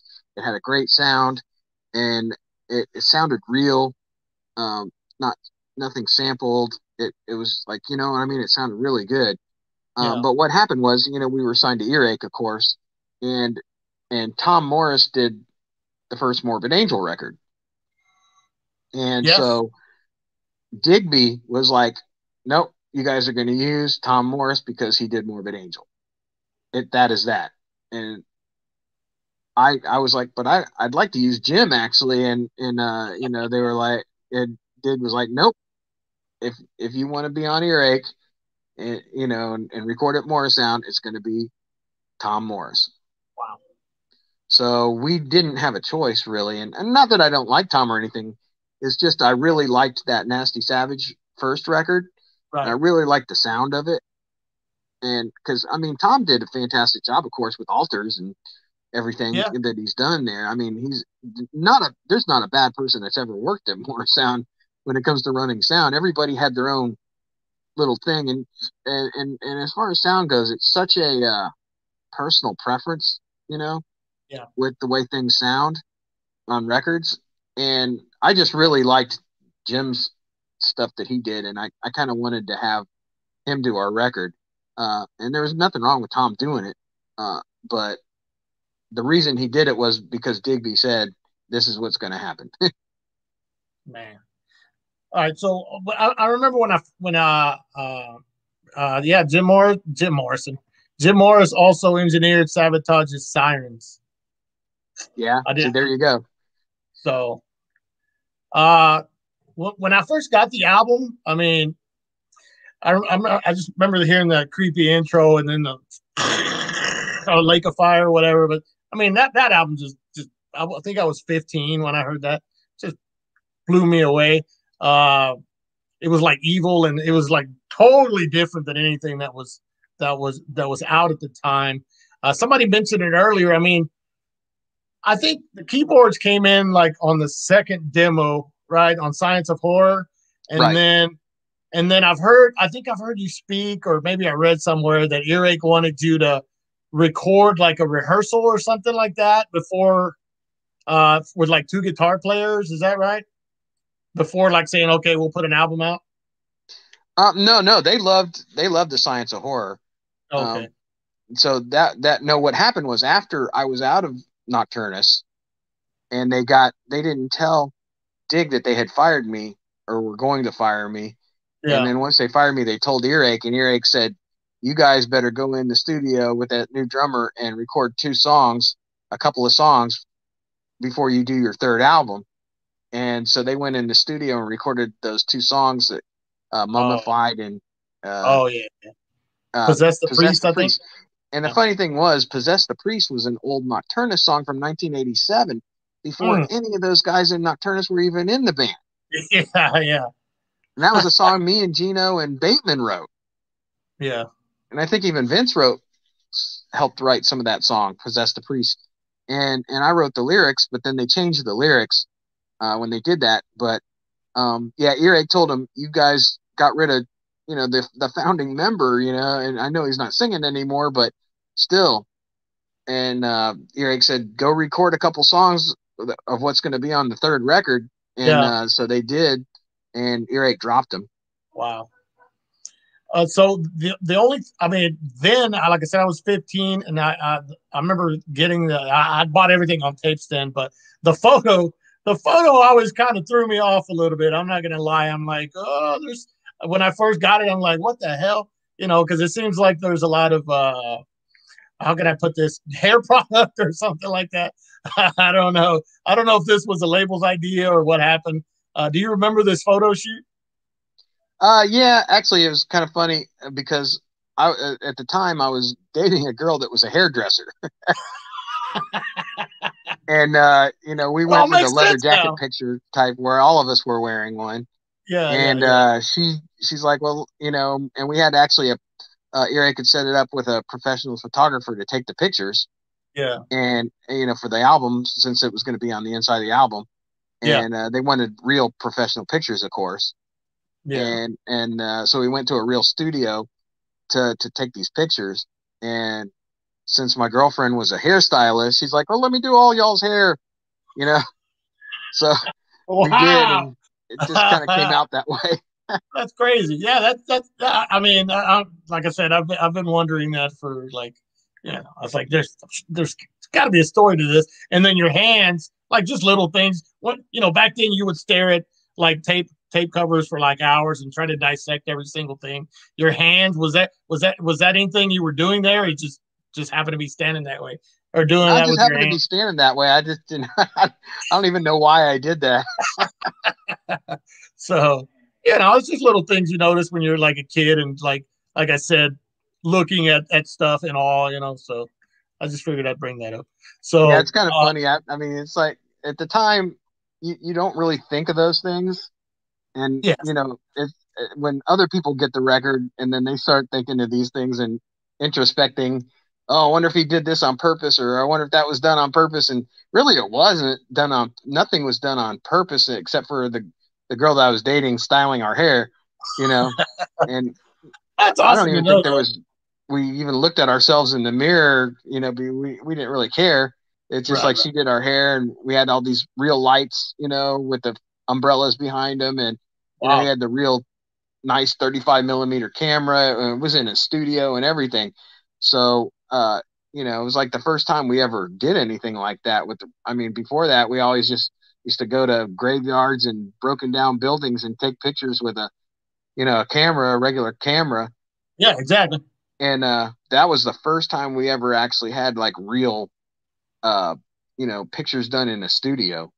Yeah, yeah. So uh, the second album, I mean, I, I I, I think it's got some good songs, but for I, I, could never get used to the different vocals on that album myself.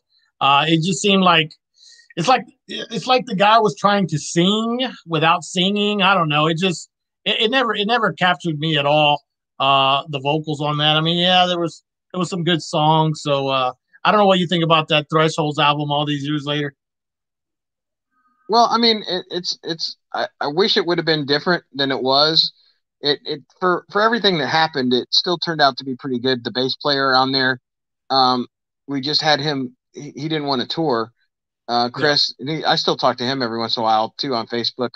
Cool. But he, he was a really good bass player, and he was friends with you know all the other guys. And and uh, Jeff, we had fired Jeff because of his drinking and all that. Yeah. And uh, so and we had got another guy Jim to do the tour, and we didn't know the guy. He was from like Fort Lauderdale. Then we we instantly we had these two tours booked, and we're like, what are we going to do? We don't have a bass player, so we kind of got this guy Jim Sullivan uh, from uh, from Fort Lauderdale, and we didn't know him at all. And then yeah. you know, like, so he jumps on the bus with us. This is the, like the first, you know, we he practiced with us for about a month, but he just would drive up on the weekend and play with us and leave. So we didn't really get to know the guy at all. And then like he jumps on the bus with us on a tour bus, and then we're like, you know, for a couple months with this guy, and he's like talking to himself and arguing yeah. with himself and and starting trouble with people on tour all the time. And so when the two tours were done, we kind of just got rid of him. And then we was like, it was already time to do the second record, and we didn't have anybody again. And uh, so Chris came in and and and uh, recorded the bass on, on the on the record, but he didn't want to be in a touring band or anything like that at the time. Yeah. So he just kind of came in and helped us out and recorded the, the tracks. Yeah. Now I'm going back because I forgot, but this was the first time uh, a lot of people outside of Florida got to see you guys play live uh, on the the '91 Grind Crusher tour. Uh, was that was that a was that a cool experience for you guys or for you personally being on that tour back then? It was amazing. I mean, but we did do um the before that we did do the bolt thrower tour in Europe. Oh, okay. And that was like 20 20 something shows. I think there's 20 or 25 shows somewhere right around in there with bolt thrower. Oh, okay. And uh, so we kind of that was our first tour actually um, that yeah. we did uh, when when th- when the, the key was released, and uh, yeah. that was in early like January and February of of '91. Yeah, and and uh, that went really well, and then we we had like a month or two down, and we went right onto that tour right there, the Grind Crusher tour in the U.S. Yeah. And that was huge. We had like two big tour buses, and you know, there's tons of money being thrown around, and with, with this, and and we went into so much of it. I mean, the label back then, labels used to throw out tour support money like it was nothing. Yeah. Because they knew they would, you know, back then people would sell, you know, 50,000 records, no problem. And, and so a record label had no problems throwing out 20 or 30 grand for a band to go on tour with the tour buses and pay for all that a- ahead of time. And then hopefully recoup the money during the tour. Yeah. Well, so what happened was when we, when we did that, that tour, we were making $150 a night and that was going to pay back this twenty thousand dollar bill. so uh, we ended up in huge amount of debt after we Damn. did that that tour. Yeah, uh, because we just didn't have it. You know, we didn't make the money back, and so all of our record sales basically went to paying the tour support and and the recording budget, and we never yeah. really saw any money from the key because because the label took it all back uh, hmm. I know they did give us, you know, 20 or 25 grand it cost us with the tour bus and, you know, the driver had to be paid, the hotel rooms had to be paid, the food every day, you know, we got money for food every day, 10 or $15 a day. And all that had to be paid back before yeah. we ever saw royalty. And so we, you know, plus the, I think it was an eight or nine thousand dollar recording budget that we ended up with for the key. And, and, you know, like after all that was paid back, we had nothing in our yeah. pockets.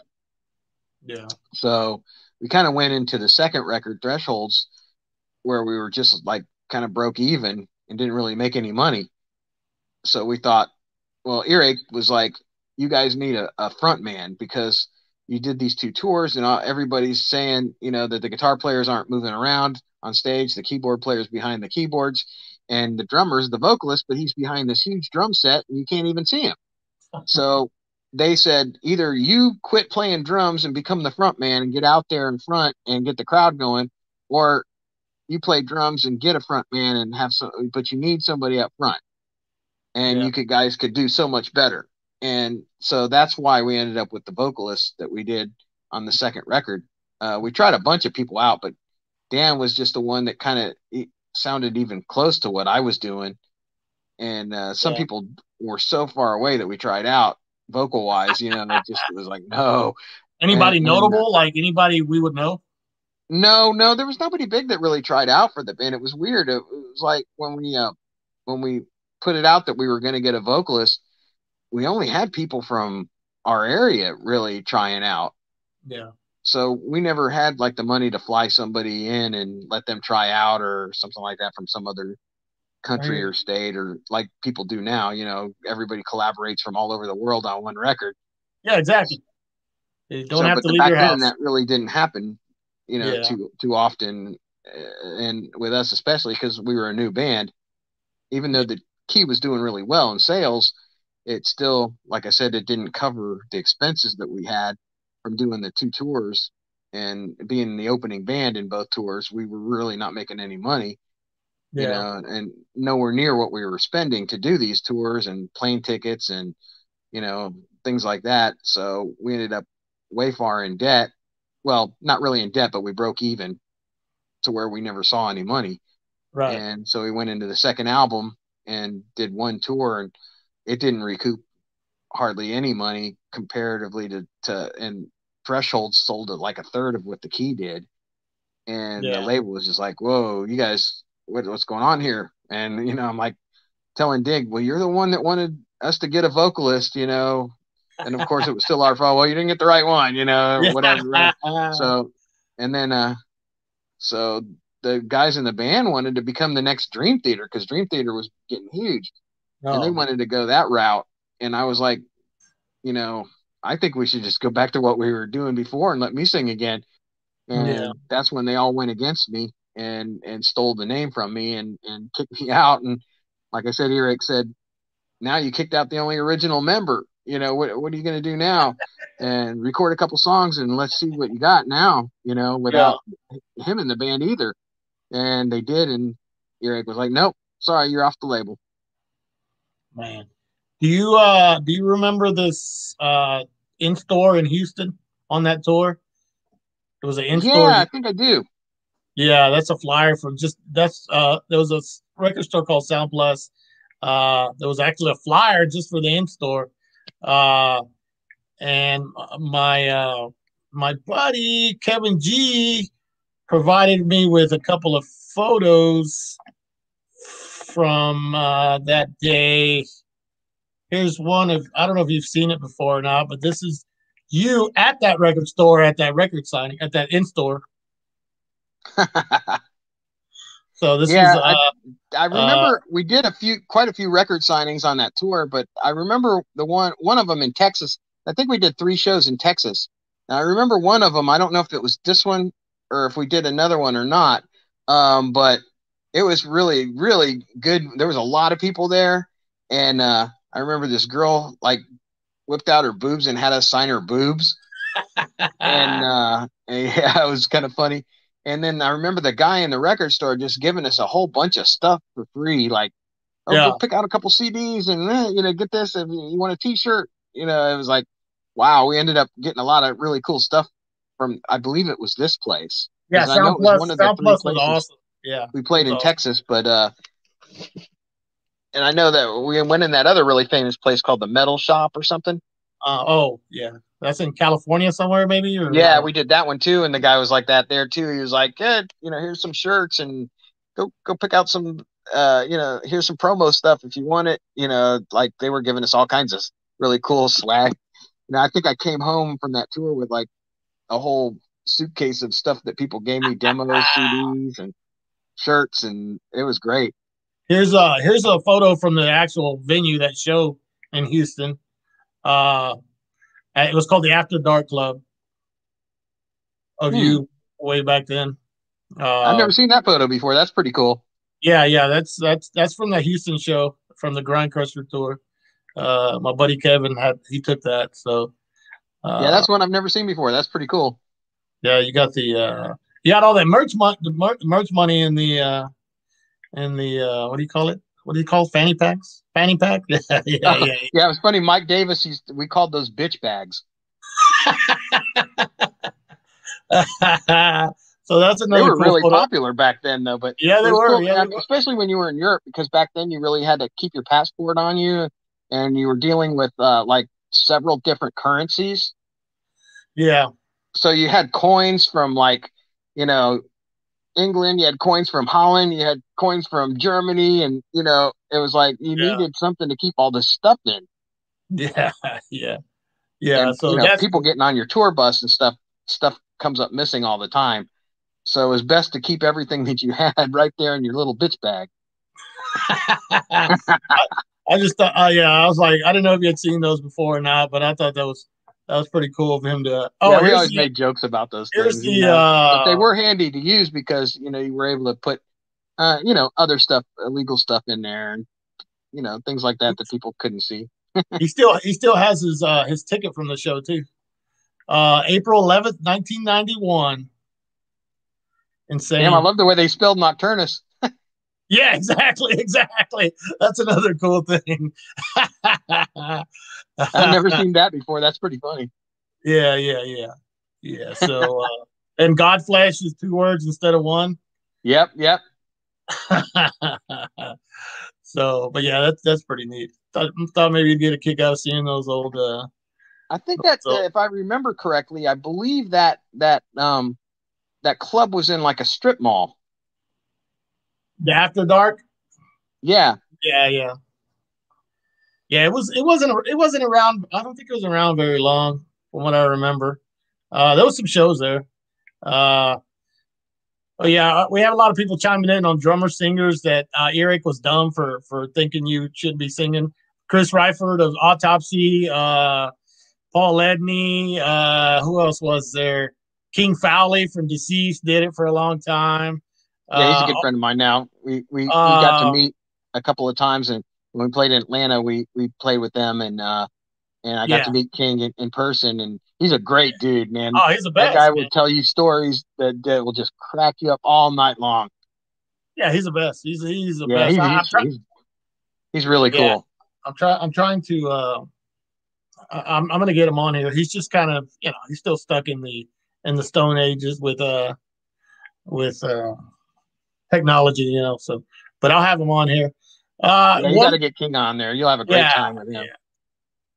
and then uh, this picture is awesome. I took this off your page, but uh, uh, that had to be uh, amazing meeting him, right? It was it was crazy. We we played Hellfest in France, and of course we were in the tent stage. In the tent stage, we were playing. Um, uh, Slayer was the headliner in the tent stage, Yeah, so you can imagine how big that. And this was only what maybe ten years ago, I think. oh wow, and Iron Maiden was playing the big stage. And after we played, they played right after us outside. So when we got finished playing in the tent, we walked outside and there was Iron Maiden playing live outside. It was like, this is incredible.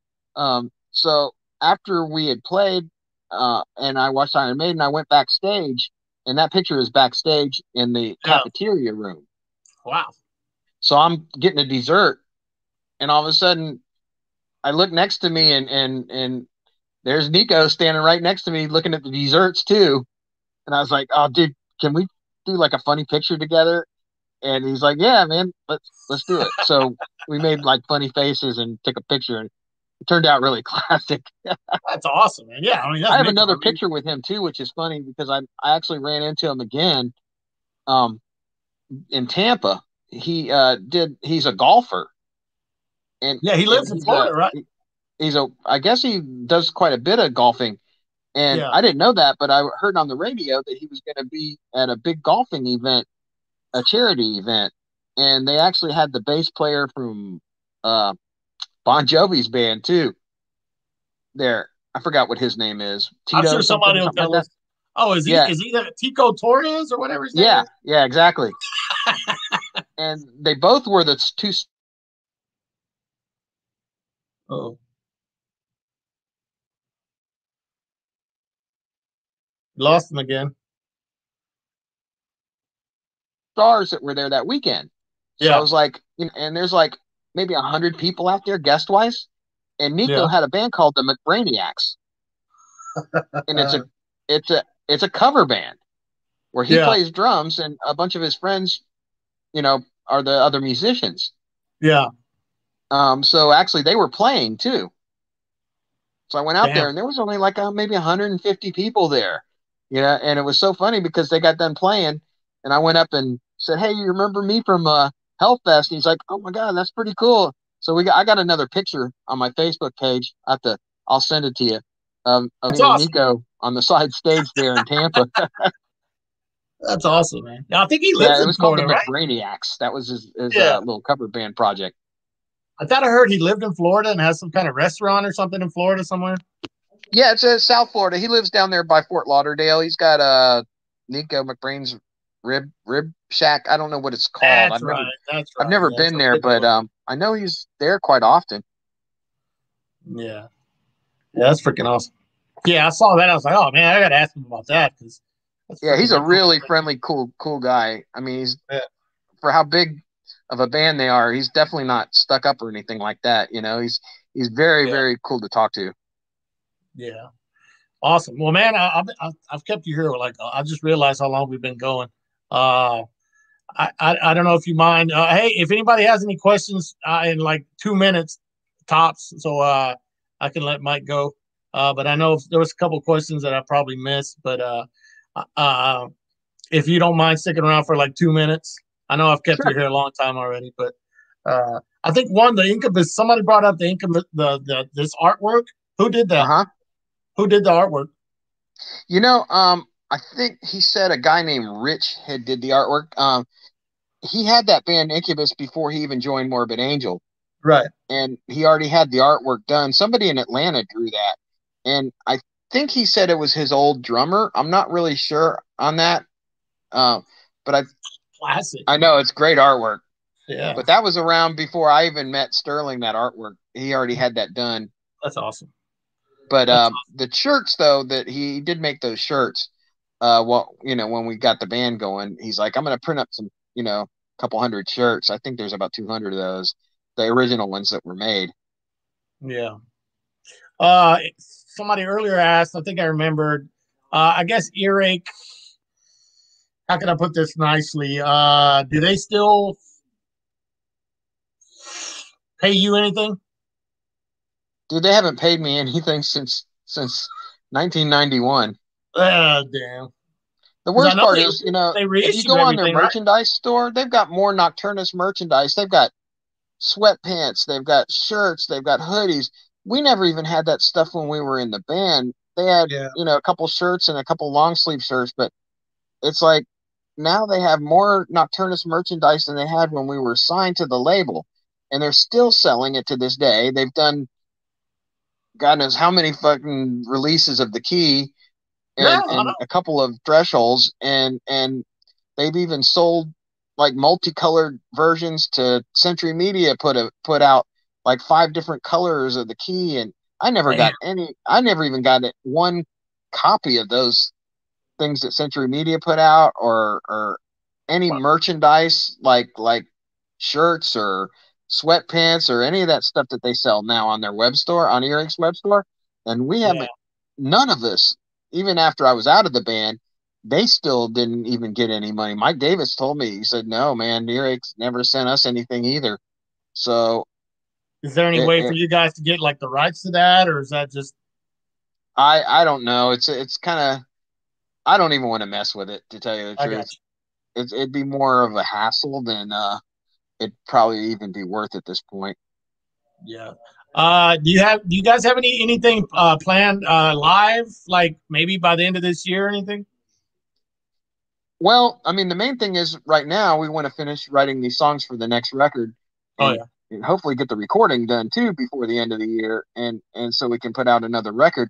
But everything we had booked uh, for 2021 or 2020, I should say, that was supposed to go on in 2021.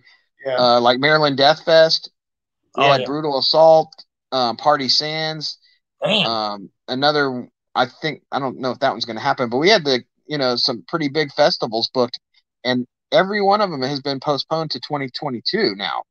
So actually, we've got it. You know, I'm, and I'm pretty sure they're going to happen in 2022. So I think that. Well, I know Maryland Death Fest is already uh, rescheduled for 2022 in May, and we're on that. And uh, Brutal Assault's already rescheduled for 2022 in August, and we're on that still. And uh, I believe Party Sands says they're still going to do the festival this summer, but I can't see it happening. To Yeah. tell you the truth, in Europe, and uh, it's the same weekend as as as uh, Brutal Assault. So we were supposed to fly in and play Brutal Assault, then take a bus over to Party Sands and play Party Sands, and then fly back from Party Sands. And our tickets were already bought and everything because it was supposed to be in 2020. So Yeah. now, um, Brutal Assaults changed their schedule to 2022, but Party Sands is still saying they're going to try to have their festival this summer.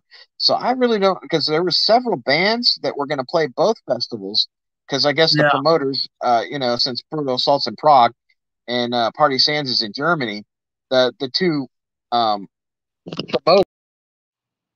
Uh oh. Just lost him.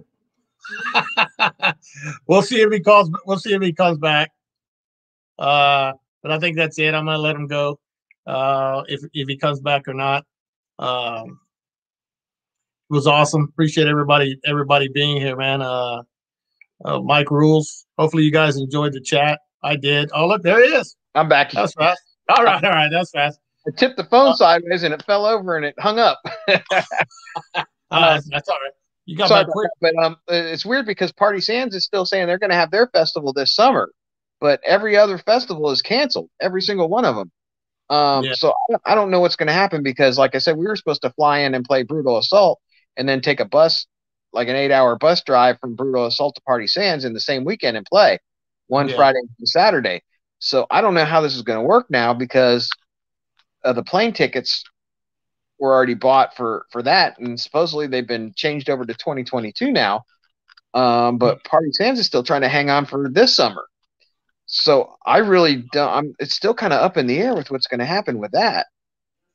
Yeah, that's a pretty big fest, right? Party said. They're both huge. Yeah. Huge, both- yeah, yeah. I've, I've seen like footages, and there's like a lot of people there. Yeah, So I don't know what's going to happen with that because our plane tickets supposedly were changed to 2022 now, and Yeah. uh, so supposedly the one promoter for Brutal Assault paid for us to get there, and the Party Sands guy paid for us to go back. yeah. and they split the cost of the two uh, flights. And so now, supposedly, if we play Party Sands this summer, we've only got a way back from there, but we don't have tickets to there. So yeah, I, I know it's a big mess. Uh, yeah, that could be a problem.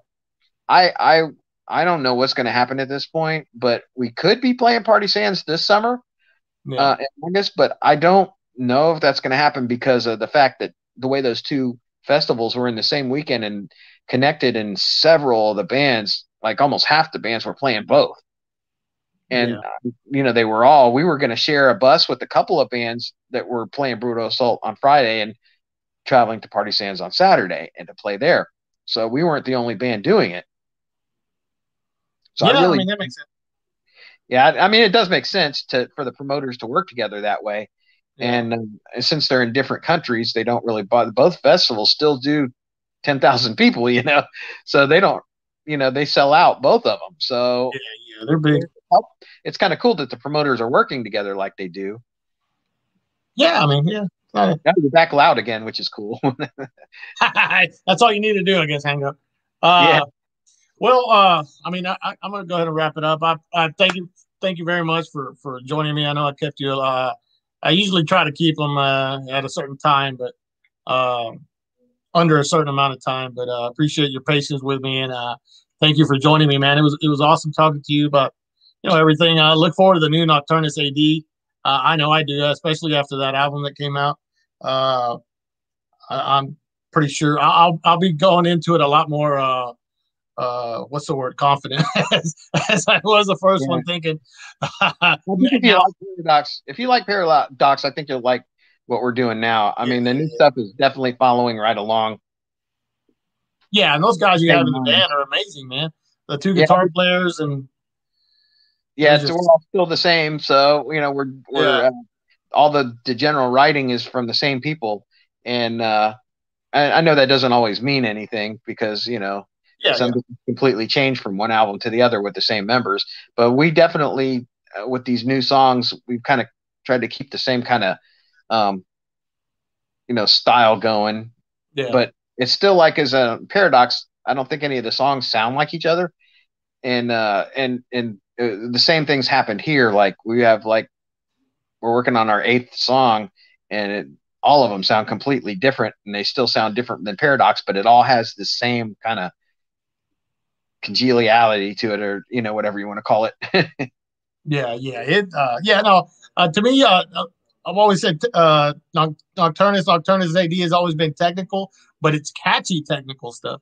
It's not just wankery, you know. So yeah, it's funny. It's like the way the guitar players write. It sounds like a simple rhythm because you can. It's you know you can like almost hum the rhythms and uh, yeah, yeah, some of these bands they get so crazy with you can't even hum the rhythm. You know, it's like you know Exactly. how you hum it. yeah, exactly. That's not good. that too, of course, but we have a lot of our main rhythms. You know, they're catchy sounding, but you try to break that rhythm down and play it, it doesn't. It's sounds a lot simpler than it really is. Oh, I've seen those guys play live, and I'm like, oh, what the, you know. Yeah. So You know, there's a lot more going on than than we. It, it kind of sounds like a rhythm that you can actually hum and remember, which is the cool thing about it. You yeah, know, like absolutely. there's like absolutely. a couple of these parts in these new songs, I find myself like I can't quit hearing it in my head because it's so stuck in my head. Some of these rhythms, it's like wow, which is a good thing, you know, because that's what you want uh, with with your songs. You want people to be able to remember what they've heard. You know, sometimes I've listened to albums that were the the technicality was just incredible, but at the end of the album, I couldn't like, you know, remember one riff exactly Right. the way it went because Right. it was so so technical. And Yeah. you know, that's good if that's what you're going for. That's Yeah. exactly what you got. But I do like to have memorable stuff. Of course. And yeah, you got to have a hook. yeah, so they're kind of hooky rhythms, just like they were on Paradox. Uh, but but they're a lot more complicated when you watch them.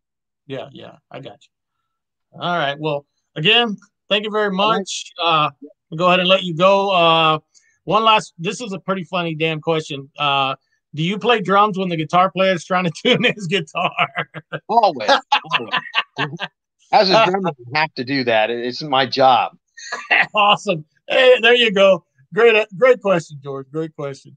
All right. Well, uh, again, uh, Mike, I appreciate it. Uh, I'm going to go ahead and uh, get it, tell everybody goodbye here in a minute, but uh, I appreciate you joining me, and uh, I'll be in touch. I can send you some of those pictures that the one you hadn't seen or whatever. I'll send it to you. yeah, that's pretty cool. Yeah, definitely. I'll, I'll send you that Nicko one too. The other Oh one. yeah, yeah, yeah. I want to see that. Him Awesome. sitting on the side of a trailer. It's kind of funny outside in a golf course. yeah, Awesome. Again, thank you very much. All right, thank you, and it, it was a great interview. Thanks. Awesome. Thanks. That's a real good question, George. Yeah, exactly. So, uh, if uh, anybody, uh, yeah, what y'all think? I thought it was pretty cool. I mean, I, I try to keep these a little shorter and everything, but uh, uh, sometimes you know you got somebody cool. I, I I think of a bunch of stuff. I'm like, I gotta ask them this. I gotta ask them this, and all that. So, uh, oh, but yeah. Uh, anyway, everybody, thanks for tuning in.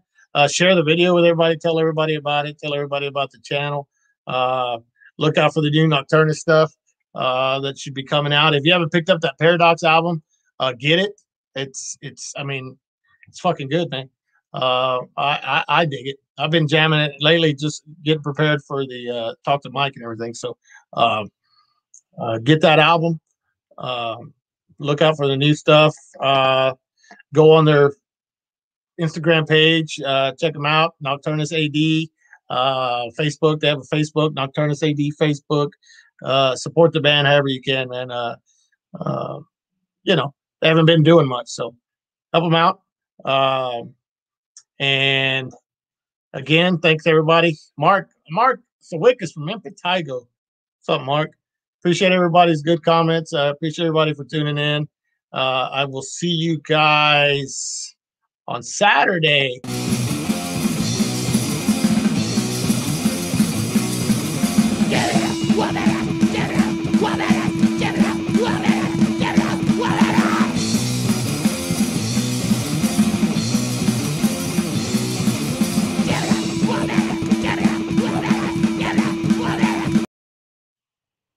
Oops. I messed that up. All right. See y'all later.